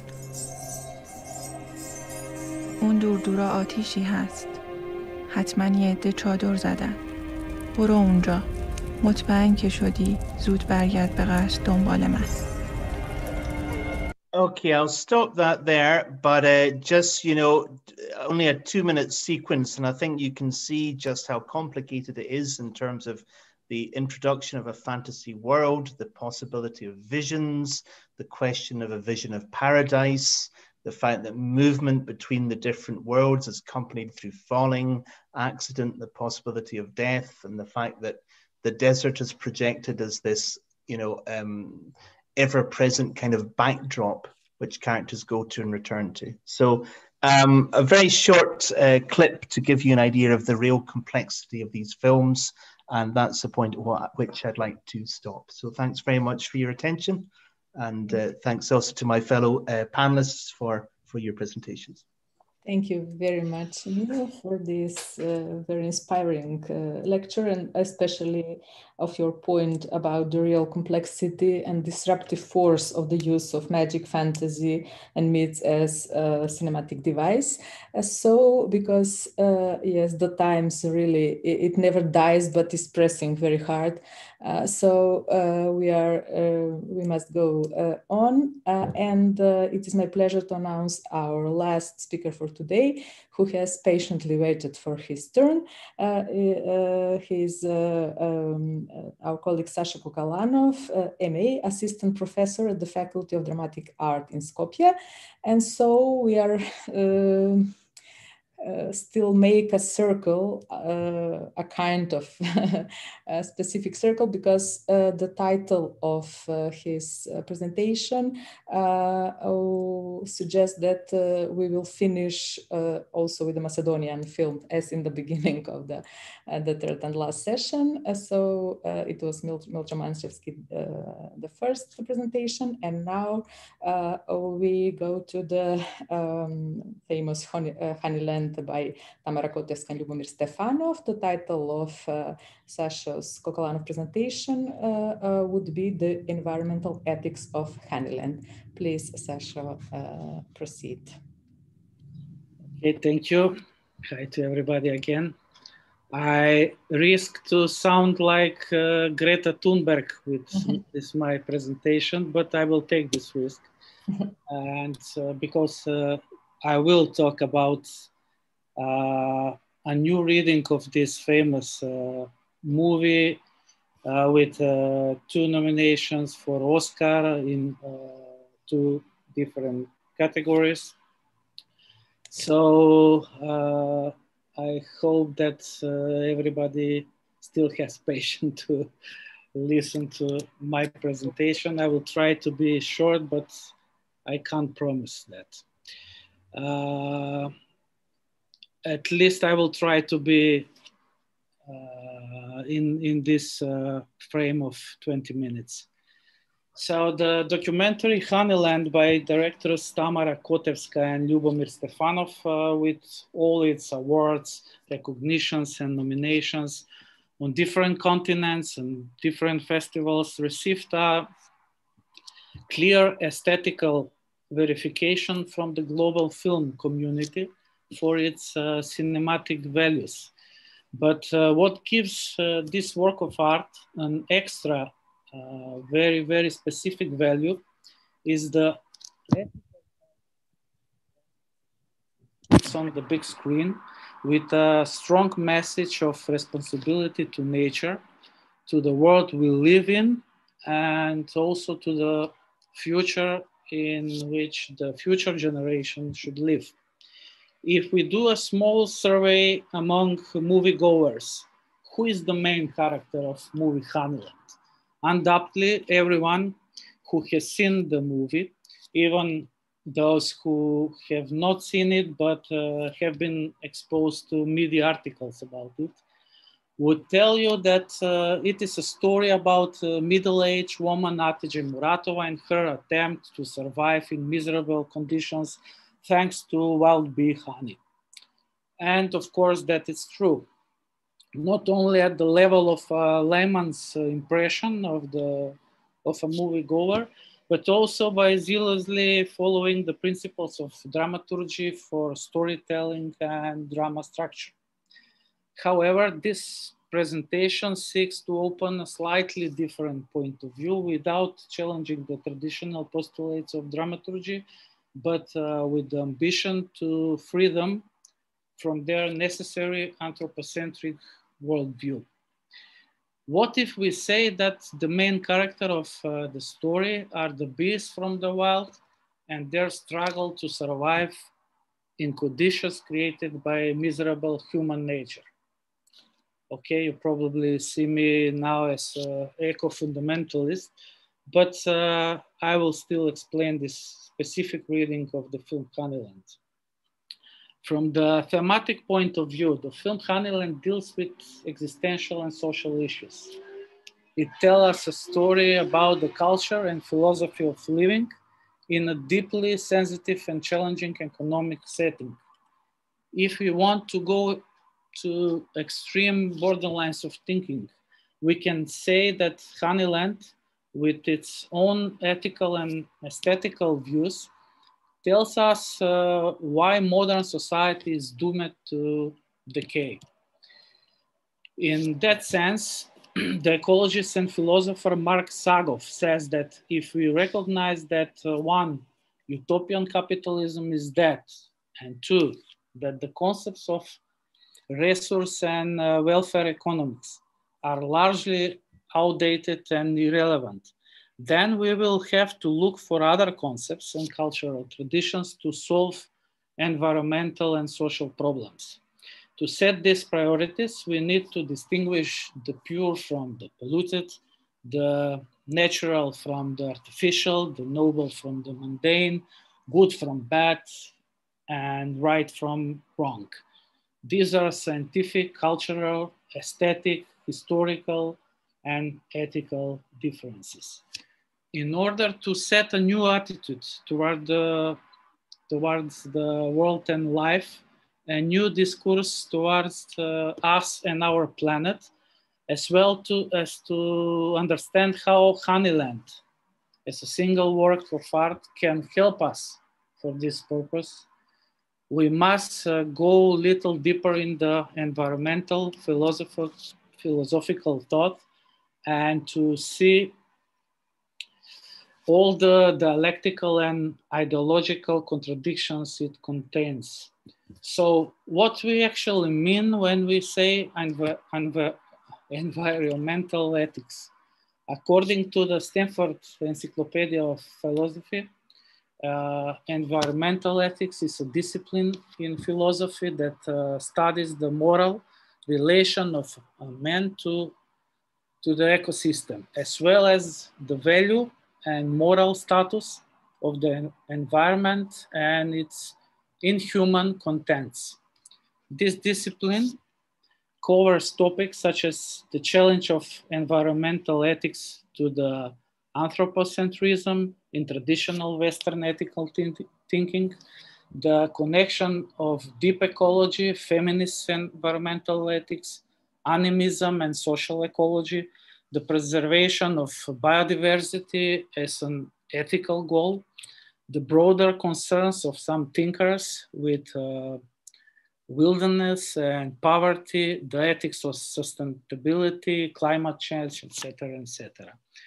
Uh, we can find direct links to film Honeyland in almost every one of these uh, topics. Uh, let's start with uh, anthropocentrism. In literature of uh, environmental ethics, the distinction between instrumental value and intrinsic value has been of considerable importance.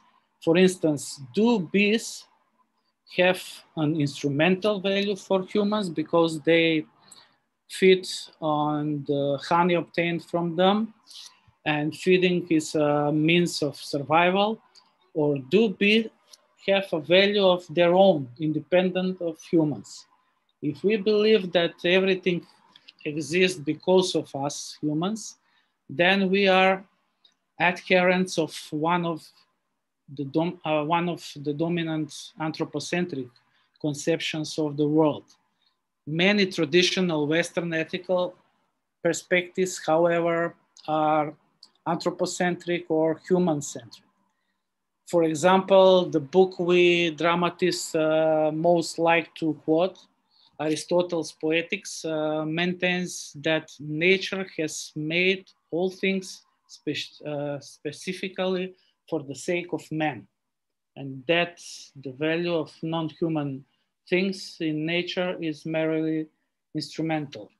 Generally, anthropocentric uh, point, uh, positions find, uh, uh, find it problematic to articulate what is wrong when the cruel treatment of non-human animals except to the extent that such treatment may lead to bad consequences for human beings. This is the essence of the main conflict in the film between the protagonist and the antagonist uh, in uh, Honeyland. The main human character, Atije, believes that bees have the same value as humans in the nature, the honey is theirs. So she will use the verb take several times in the movie in the sense that uh, she appropriates something that does not belong to her. So on the other hand, we have the, the nomad uh, Hussein who, moves, uh, who moved to, moves to her abandoned village with his family and his cattle and who believes that everything can be cultivated and doing so, it becomes a human property. So the bees belong to him because the hives are his and he has the full right of their honey and the right to decide about their destiny. At one point, he even threatened Atije that if they went to court, he would win the dispute and yes, he probably would. This moment in the film reminds us to a famous proposal of the ecologist and lawyer Christopher Stone from half a century ago, who proposed that uh, trees and other natural objects should have at least the same standing in the law as corporations. There was a famous case in the past when uh, Sierra Club tried to stop Walt Disney Enterprises to build highway uh, through Sequoia National Park for their purposes. Uh, Stone reasoned that if trees, forests, and wild animals could be given standing in law, then they could be represented in their own right in the courts by groups such uh, as the Sierra Club. Moreover, like any other legal person, these natural things could become beneficiaries of compensation if it could be shown that they had suffered because of human activity. When the case went to US Supreme Court, it was the determined by a narrow majority that uh, the Sierra Club did not meet the condition for bringing a case to court. In a dissenting mi minority judgment, however, Justices Douglas Blackmun and Brennan mentioned Stone's argument. His proposal to give legal standing to natural things, they said, would allow conservation interests, community needs, and even business interests to be represented, debated, and settled in court. To conclude, you can kill thousands of bees in the wild, but this is not a murder for which you will be responsible because those bees are nobody and belong to nobody. And on the other hand, if you destroy someone's beehive, you will be liable for the damage done. So dozens of cattle may die due to negligence, as it happens to the nomads in Honeyland, but no one is responsible for that because cow lives are not are their property and uh, they bear the economic damage by themselves. This is how our anthropocentric world looks like. And when anthropocentric orientation is mixed with uh, capitalism, consumer madness inevitably determines the value system we live by. Even when we are caring for animals, we do it for selfish reasons. We are building their dwellings, for example, beehives instead of natural habitats or in the hollows of trees or rocks. Uh, let's bring food closer to man. That's our motto. We often see those hives along the roads, not because it suits the bees, but because it suits us, the people. Impressive is the scene in Honeyland when the close-up in which uh, we can see two bees rescuing themselves from the puddle, helping each other to climb the leaf. One symbolism refers to solidarity as an ethical value, and the second, perhaps, uh, perhaps more important for the attitude of the film, is that the beast left alone will fight the dangers that lurk without anyone's outside artificial help, guided only by their instincts. In that context, we can see a lot of scenes. Uh, uh in a lot of scenes, Hatidze's care for her old and frail mother.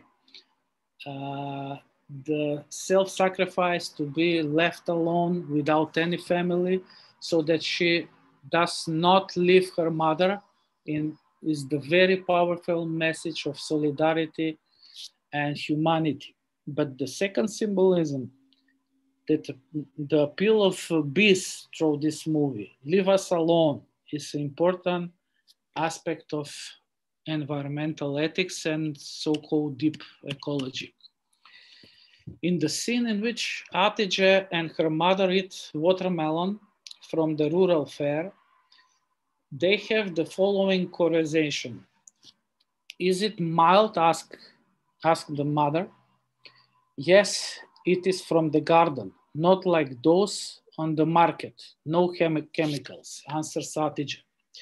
The imposed taste versus the original taste. This remind me of something. Uh, when, when a friend of mine was on a business trip to Africa, one of the biggest impressions she got there was uh, the taste of bananas. Okay, but how different can the taste of bananas be?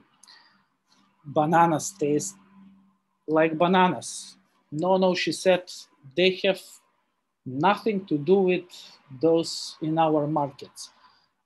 So we can conclude that the original taste of bananas or honey or some other uh, food was modified when they were brought closer to human communities and to cons consuming continents.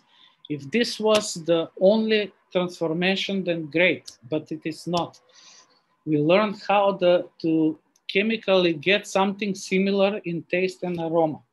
So today, in the supermarkets, for example, you can buy a mineral water with the taste of banana and I don't know, guava, for example, but that water has nothing to, to do neither with uh, banana or guava. It is uh, likely that you have never tried guava in your life, but in the meantime, this mineral water has become your favorite. False tastes, false aromas, false stimuli for the senses, all this inevitably leads to fail false values. Because if you become a regular consumer of a lie, it cannot but become a value to you. So people tend to justify their behavior. So if they are users of a lie in order to justify themselves and others, they are forced to treat the lie as a value. And finally, we come to the next important issue, sustainability and care for future generations. The Rolling Stones use this lyric, you can't always get what you want. Is, is that a bad thing, not to get what you want? Should society, education, arts, government policies always tend to seek people to be supplied with uh, all they want? Should artists, uh, movie makers play a role in teaching citizens which, which wants are of value and which are not? Or should we, as artists, remain neut neutral on such questions? Uh, we can find some answers in Honeyland. Uh, 30 years ago, the United Nations set up a commission to deal with the issue of economic development, environmental protection, and accountability to future generations. This commission published a book, Our Common Future, which uh, offered uh, something that became the standard ethical definition of sustainable development. It is development that meets the needs of the present without compromising the ability of future generation to meet their own needs. The story of poor Hatidze Muratova is exactly the story of a woman on the brink of extinction and far from civilization, and maybe exactly because of that, but who still remains fused with uh, nature and responsible for uh, survival doesn't Hatidze, through her personal environmental ethics, actually translate this definition into a simple, powerful message expressing understandable humanized language and told through her warm, touching, intimate human story. What is that half for me, half for bees? If not care about the sustainability of whole nature, not just the humans. Joseph Desjardins in his environmental ethics addresses some vital issues for humanity. Should present generation sacrifice for the well-being of future generation? Does posterity have rights? And do we have duties to people who do not even exist? Do all presently living people bear the same degree of responsibility to future generation? Or does that vary depending on such thing as wealth or cultural affiliation? Take half, leave half, so that your bees do not attack mine, says Hatidze to, to Hussein in the movie. Uh, yeah, lost harmony means disharmony, and disharmony means uh, trouble for all, not just for one, because we are all part of, uh, of the whole. When uh, we eat all the honey from the bees, and bees, uh, bees must, uh, must attack other bees in the wild to survive, then the balance is disturbed it is is it not briefly the history of mankind the whole history of mankind which is a history of wars and conflicts?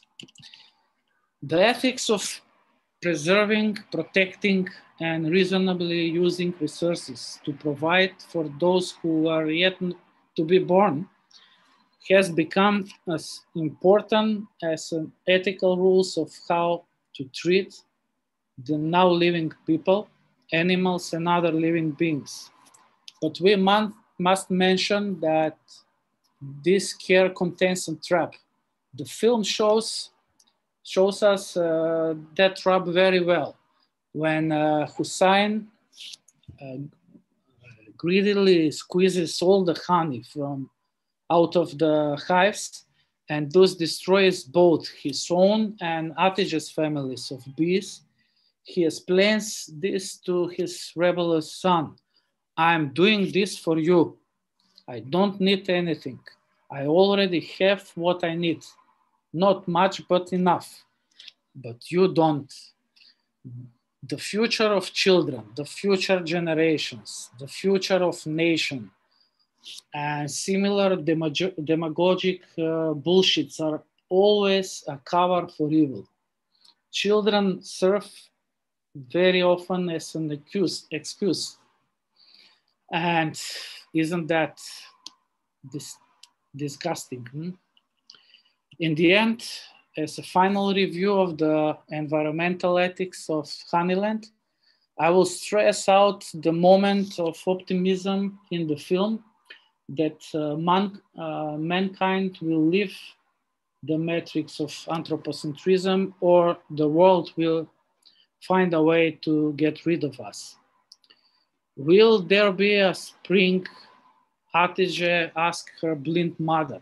Of course there will be spring, pronounces her last line Attige's mother before she dies.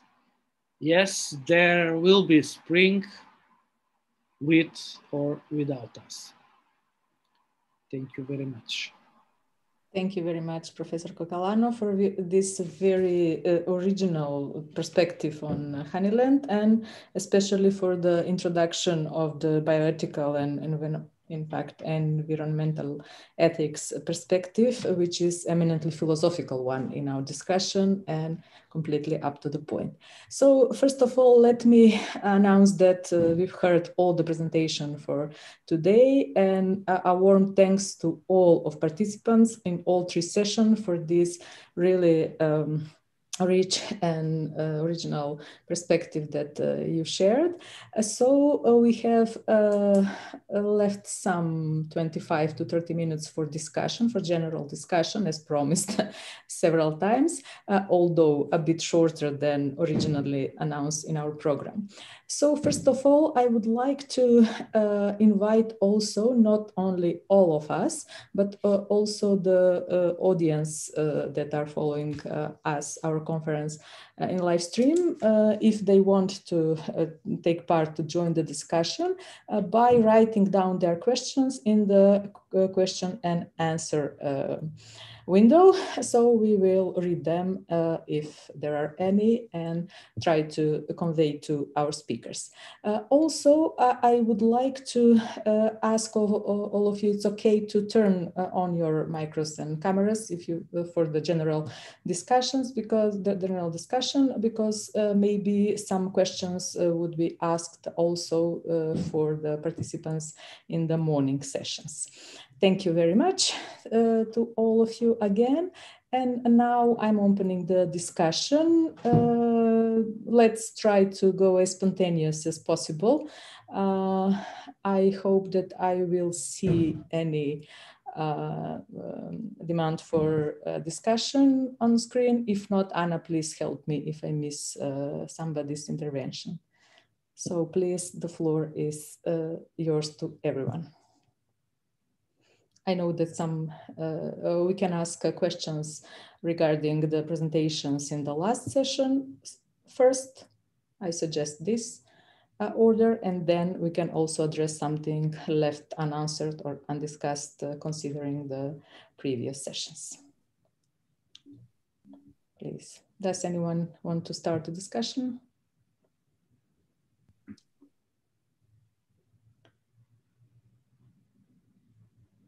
I don't know whether I have a complete view.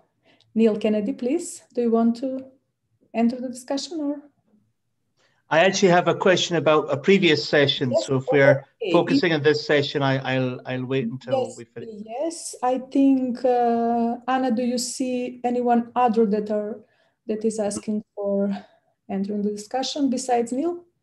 Uh, no, I'm okay. I'm not thinking, but I think that we can open it for all the all the sessions before, as we also skipped the, the second one. So uh, Professor Kennedy, please. Any direction, yeah. Question.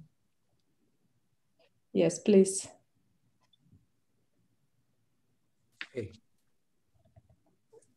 Yes, the, the microphone. Uh, can you please ask your question?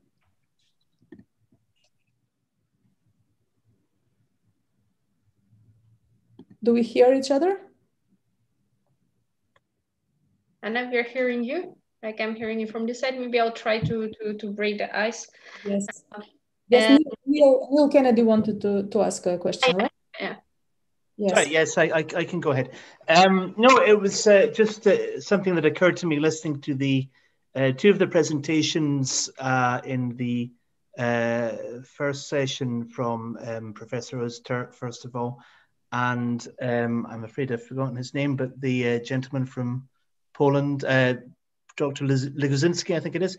Um, in terms of the, uh, in terms of how cinema and philosophy interrelates, I found it interesting that your two presentations addressed, first of all, the notion of the philosophical dialogue.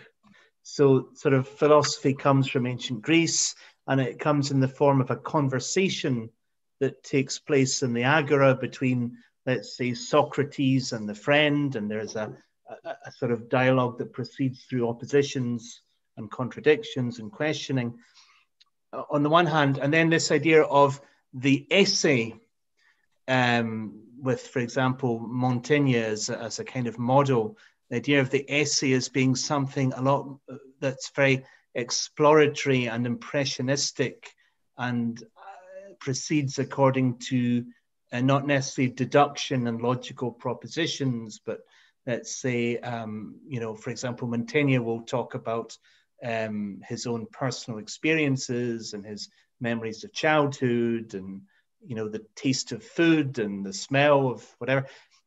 So um, I just wonder that is, is, there a sense in which um, in modern academic discourse, uh, we we limit philosophy too much in the sense that in in a traditional academic conference you have to make a, a proposition and defend it.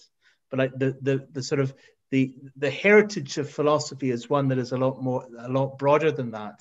And it's one that does draw on this idea of inference and dialogue and you know the exploratory essay and and you know something that's a, a lot more perhaps looser and um, is there a sense in which, in particular, these other forms of philosophical dialogue especially lend themselves to being either filmed or to being expressed through image?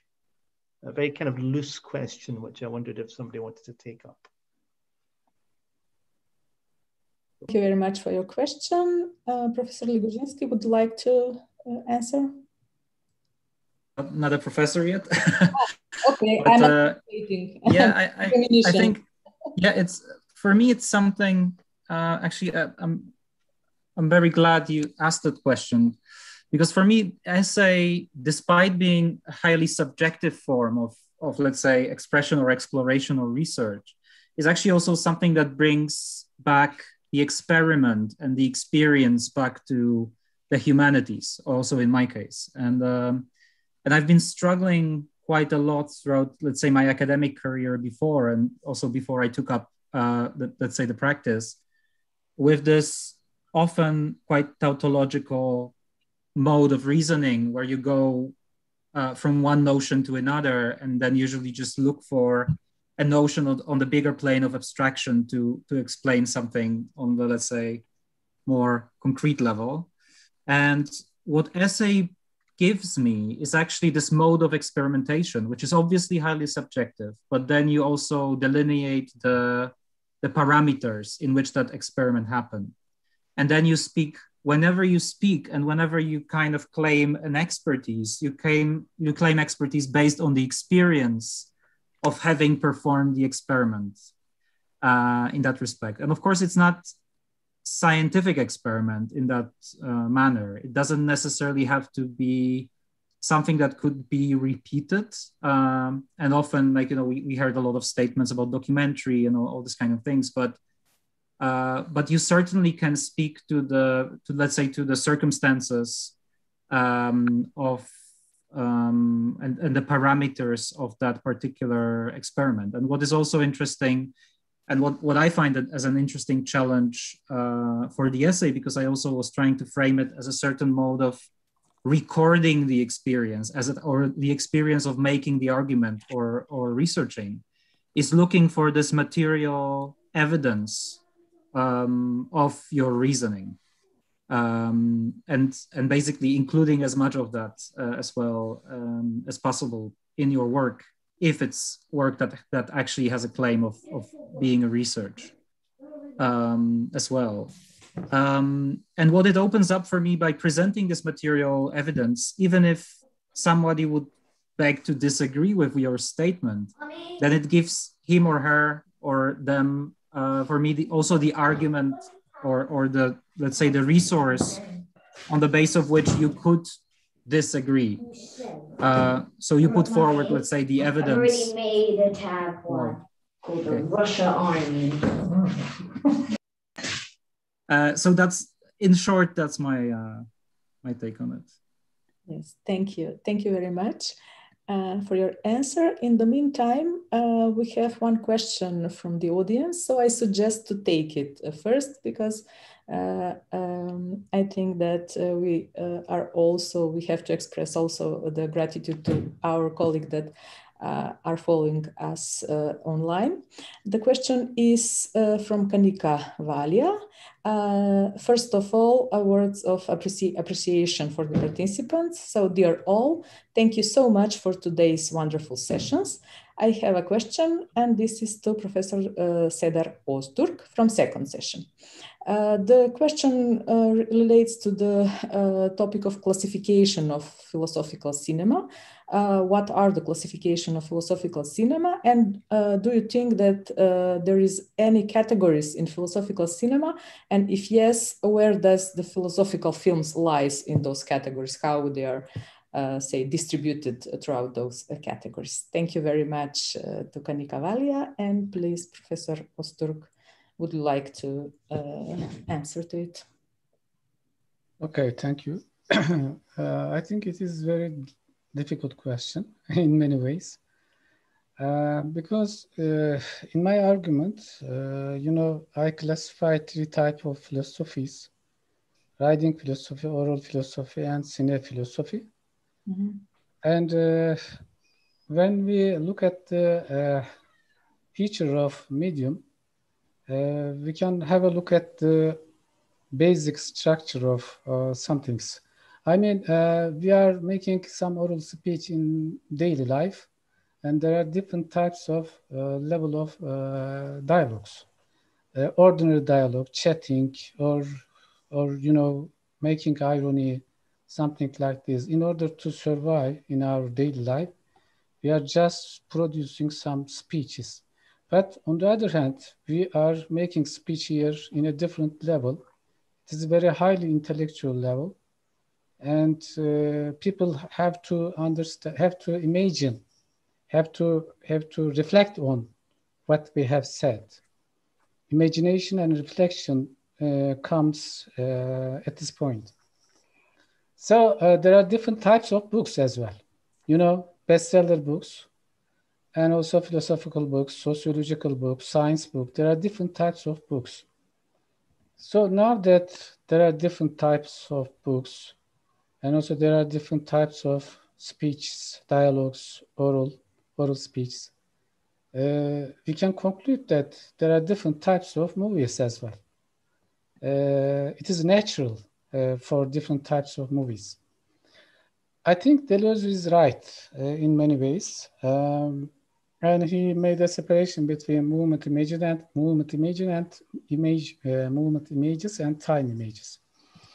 Uh, after the first world, uh, world after the second world war, the meaning of cinema has changed because cinema went to thought uh, so thought, I think, is the basic criteria in many way. Instead of using philosophical movies, I prefer to use thought movies, thought movies, you know, because uh, according to Deleuze's argument, uh, we perceive some things when, and according to our perception, we act. This is the motor sensor, sensory schema, you know, habitual recognition in the meaning of uh, habitual, automatic recognition. Uh, so when you when you pass into the thought level, habitual recognition can can change into you know um, attentive attentive recognition, which means we don't need to act in accordance with the perception. There is a uh, interval. There is an interval between them, and. How can we fill up fill up this interval? By memory, by by by dreams, by uh, seeing the obje objects. So, what is important and the basic uh, starting point, I, I believe that to see the being, to see the being. And when we see the being in itself, actually thinking starts. It means that uh, some directors tries to create some ideas in, in, a, in a way that you can see some things in a total way, in uh, being in itself. Uh, so, uh, you know, Roberto Rossellini created a movie, Stromboli, you know, and also Europe 51. The bourgeois woman um, was a different person before her her son uh, died, but her son after her son died, he uh, saw the factory in a different way.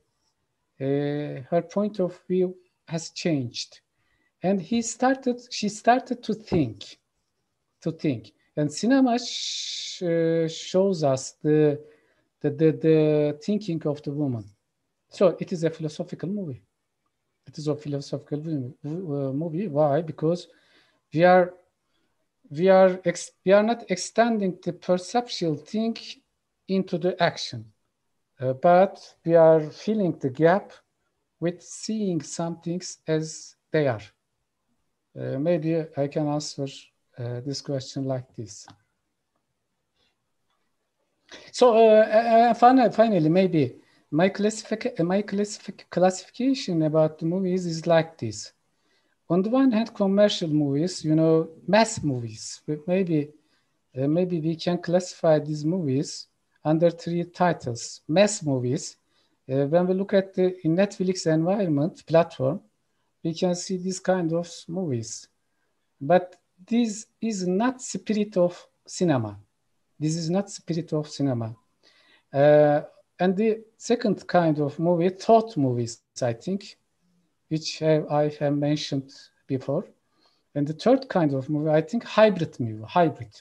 It is a kind of combination of movies. On the one hand, you can get some some uh, cinematical uh, comp composition from the mass movies. On the other hand, uh, thought movies. It is like mixing the mass movies and and uh, thought movies. I think. Thank you. Thank you very much for this conceptual qualification. The classification questions are always difficult. We all know, know that. So please, uh, are there any other questions at this point? No questions from the audience. Anna, you wanted to please uh, yeah, I, I, I, had I have a lot of questions to everyone, but unfortunately, it's it's not possible to to pose them all. So I would choose one, and in the same time, I'll use the occasion to thank everyone for really uh, fresh perspectives uh, from many different angles. We have been talking from more theoretical aspects in the first session to very transdisciplinary uh, research uh, topics in the second one, and then working on, on particular films and uh, even talking about environmental ethics and deep ecology. So it has been a really, really wide array of topics and very inspiring, I believe, also for the people that have followed us. Um, I would like to use this uh, chance to uh, pose a question or, or, or, maybe just, just as, a, as an impression to Professor Chateau and on his presentation on Milcho Manchevski's Before the Rain. uh, the the it, it has been a very very fresh perspective i had a rare glimpse into the presentation early on when we have been discussing professor chateau uh, participation at a at a conference and uh, with the help of uh, zen philosophy and also this idea of the ouroboros uh, kind of read into the structure of, of the film. I found it fascinating first as, as, as a way of reading and approaching uh, the film. Uh, I was wondering because when I'm usually seeing or, like watching and rewatching Before the Rain, as it is one of the most famous Macedonian films and filmmakers, Milcho Manchevski. Uh, usually, the circle I also see it in the um, in the element of uh, the circle of violence that uh, it perpetuates itself and it repeats itself coming back always. So uh, the, the, the Ouroboros can be seen in the film form, but also, if I may say in a more simplified or reduced manner, also in the content of the film and the topics that it works on. Uh, do you think that you can, um, you can um, kind of read this also into the film uh, or do you think that there is a possibility to extend this this reading or this analysis of the film also on this level uh, which uh, shows uh, also one rather humanist perspective of the endeavor like of the, the approach of Manchevski working on these topics? Thank you. Thank you anna. Professor Chateau please. Mm, yes yeah. Off um, yeah yes uh, I think it's possible to extend the the, the formal analysis to, uh, to the content. But uh, well, for me, uh, it's not it's not a fresh perspective because uh, uh, my, my, my, my lecture is, uh, is a very, so, so I, I began to analyze this kind of, these narrative films in 1968. Uh, when I watched uh, L'Homme qui ment uh, in, in the Studio Bonaparte in the Quartier Latin. So you, you know, it's not a French perspective. And I, I am a militant. A militant, I, I don't know the, the word in, in English for militant. Uh, and militant, yeah. Militant um, of, the, of this kind of, uh, of cinema uh, from this time you know so that's uh, but um, uh, so as i said i think that uh, it's uh, it's it's a mistake to uh, to separate uh, the form and the content in the sense that the the discourse in in a film like before before the rain uh, is insepar inseparable from, from the form.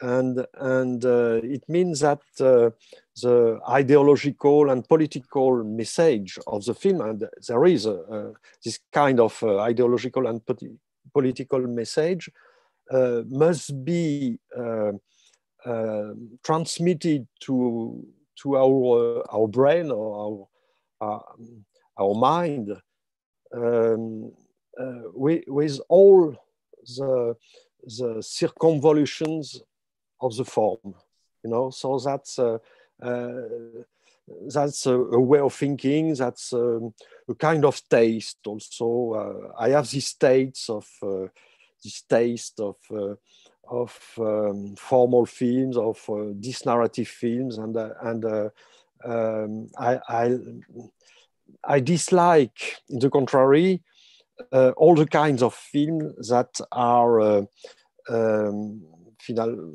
finally realistic films, the films that that that, uh, that said to us uh, that's a, a reality. Uh, you you are watching a reality. No, I think that we are watching a film, and uh, and I think that the the best films are the films um, that uh, Uh, contain this, uh, this fact, uh, the, the, uh, the, the, fact of uh, what Edgar Morin calls the double consciousness. in the narrative, but we know that's a film. We, we know that's a film. Well, my answer. Thank you very much. Professor Chateau. I, I thank you. So, I thank you, Anna. Thank so, you very much for your question and thank you for the invitation. Thank you. So our time is up. I think that is uh, time to uh, close our conference. But before that, uh, I really uh, like to uh, share with you my uh, impression that it, it was a really, really successful conference and our first attempt to um, organize such an event, bring all of you together, um, resulted in wonderful results. Uh, so um, thank you again all and i wish you that um, you all stay in good health which is the most important in those circumstances and that we have many many more uh, uh, occasion to continue continue our uh, joint uh, reflection and maybe to stay uh, for the question that uh, uh, were not answered, to stay in contact by mail or by uh, other electronic means and to continue our reflection in other format.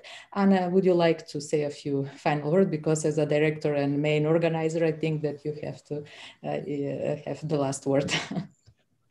I think I've already said my thanks to everyone. Uh, it's been a real pleasure to, to be in contact with all of you. And as I said, uh, we are grateful that you have stayed with us and that you have given us the confidence to organize this, this first conference uh, in the framework of the Philosophical Film Festival. Um, and I really hope that this kind of encounters, which I see that uh, we are coming from every corner of Europe. Senka is also at the moment in the US, so uh, we are covering a bit of a larger uh, part of the globe. And I really hope that um, uh, with this contact now with Professor Öztürk from, from Turkey and the Cinephilosophy uh, Journal and the initiatives in Turkey, and then with uh, Professor John Mullarkey, who is in the UK and with the Film Philosophy magazine and the conferences, but also having a lot of people from the region that are working in this area, or St Stanislav, who is working in the um, in this transdisciplinary practice uh, of, of, video essay that I, I, feel like it has a lot of potential of, of joining these two areas together.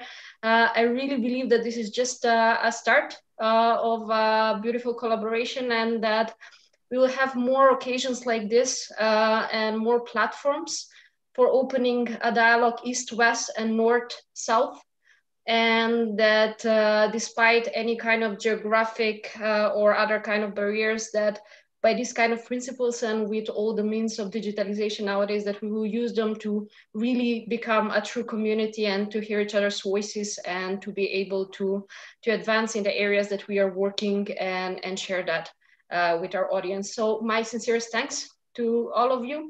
And unless someone has a uh, last final pressing question I think that this would be the end of uh, today's conference.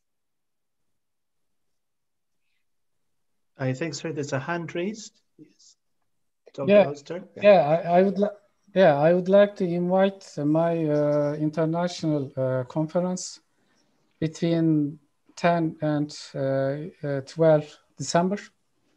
Uh, the fourth uh, Cinephilosophy Journal uh, International Film and Philosophy Conference.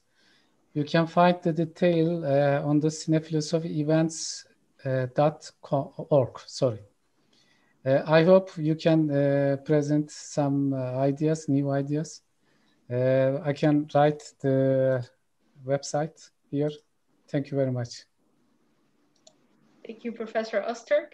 And to everyone else, uh, I'm wishing you a nice evening. So the festival is starting here physically in Skopje. For those of you that uh, are in here, you are more than welcome that we see each other. For the others, we hope that we are going to have another occasion to really see each other in person. And we are going to send you also the catalog just to have it as uh, something in your archives. It's already done. Uh, and uh, we will stay in touch by, by the electronic means. So all our best uh, on behalf of the whole team of the Philosophical Festival. Thank you. Bye bye. Thank you. Bye. Bye bye. Take care. Take care. Thank you. It was great. I enjoyed it. Thank you. Thank you very much. Thank you. Yeah, but Thank next you time it should be well. Bye from you also. Bye. Next time in Skopje. Bye bye.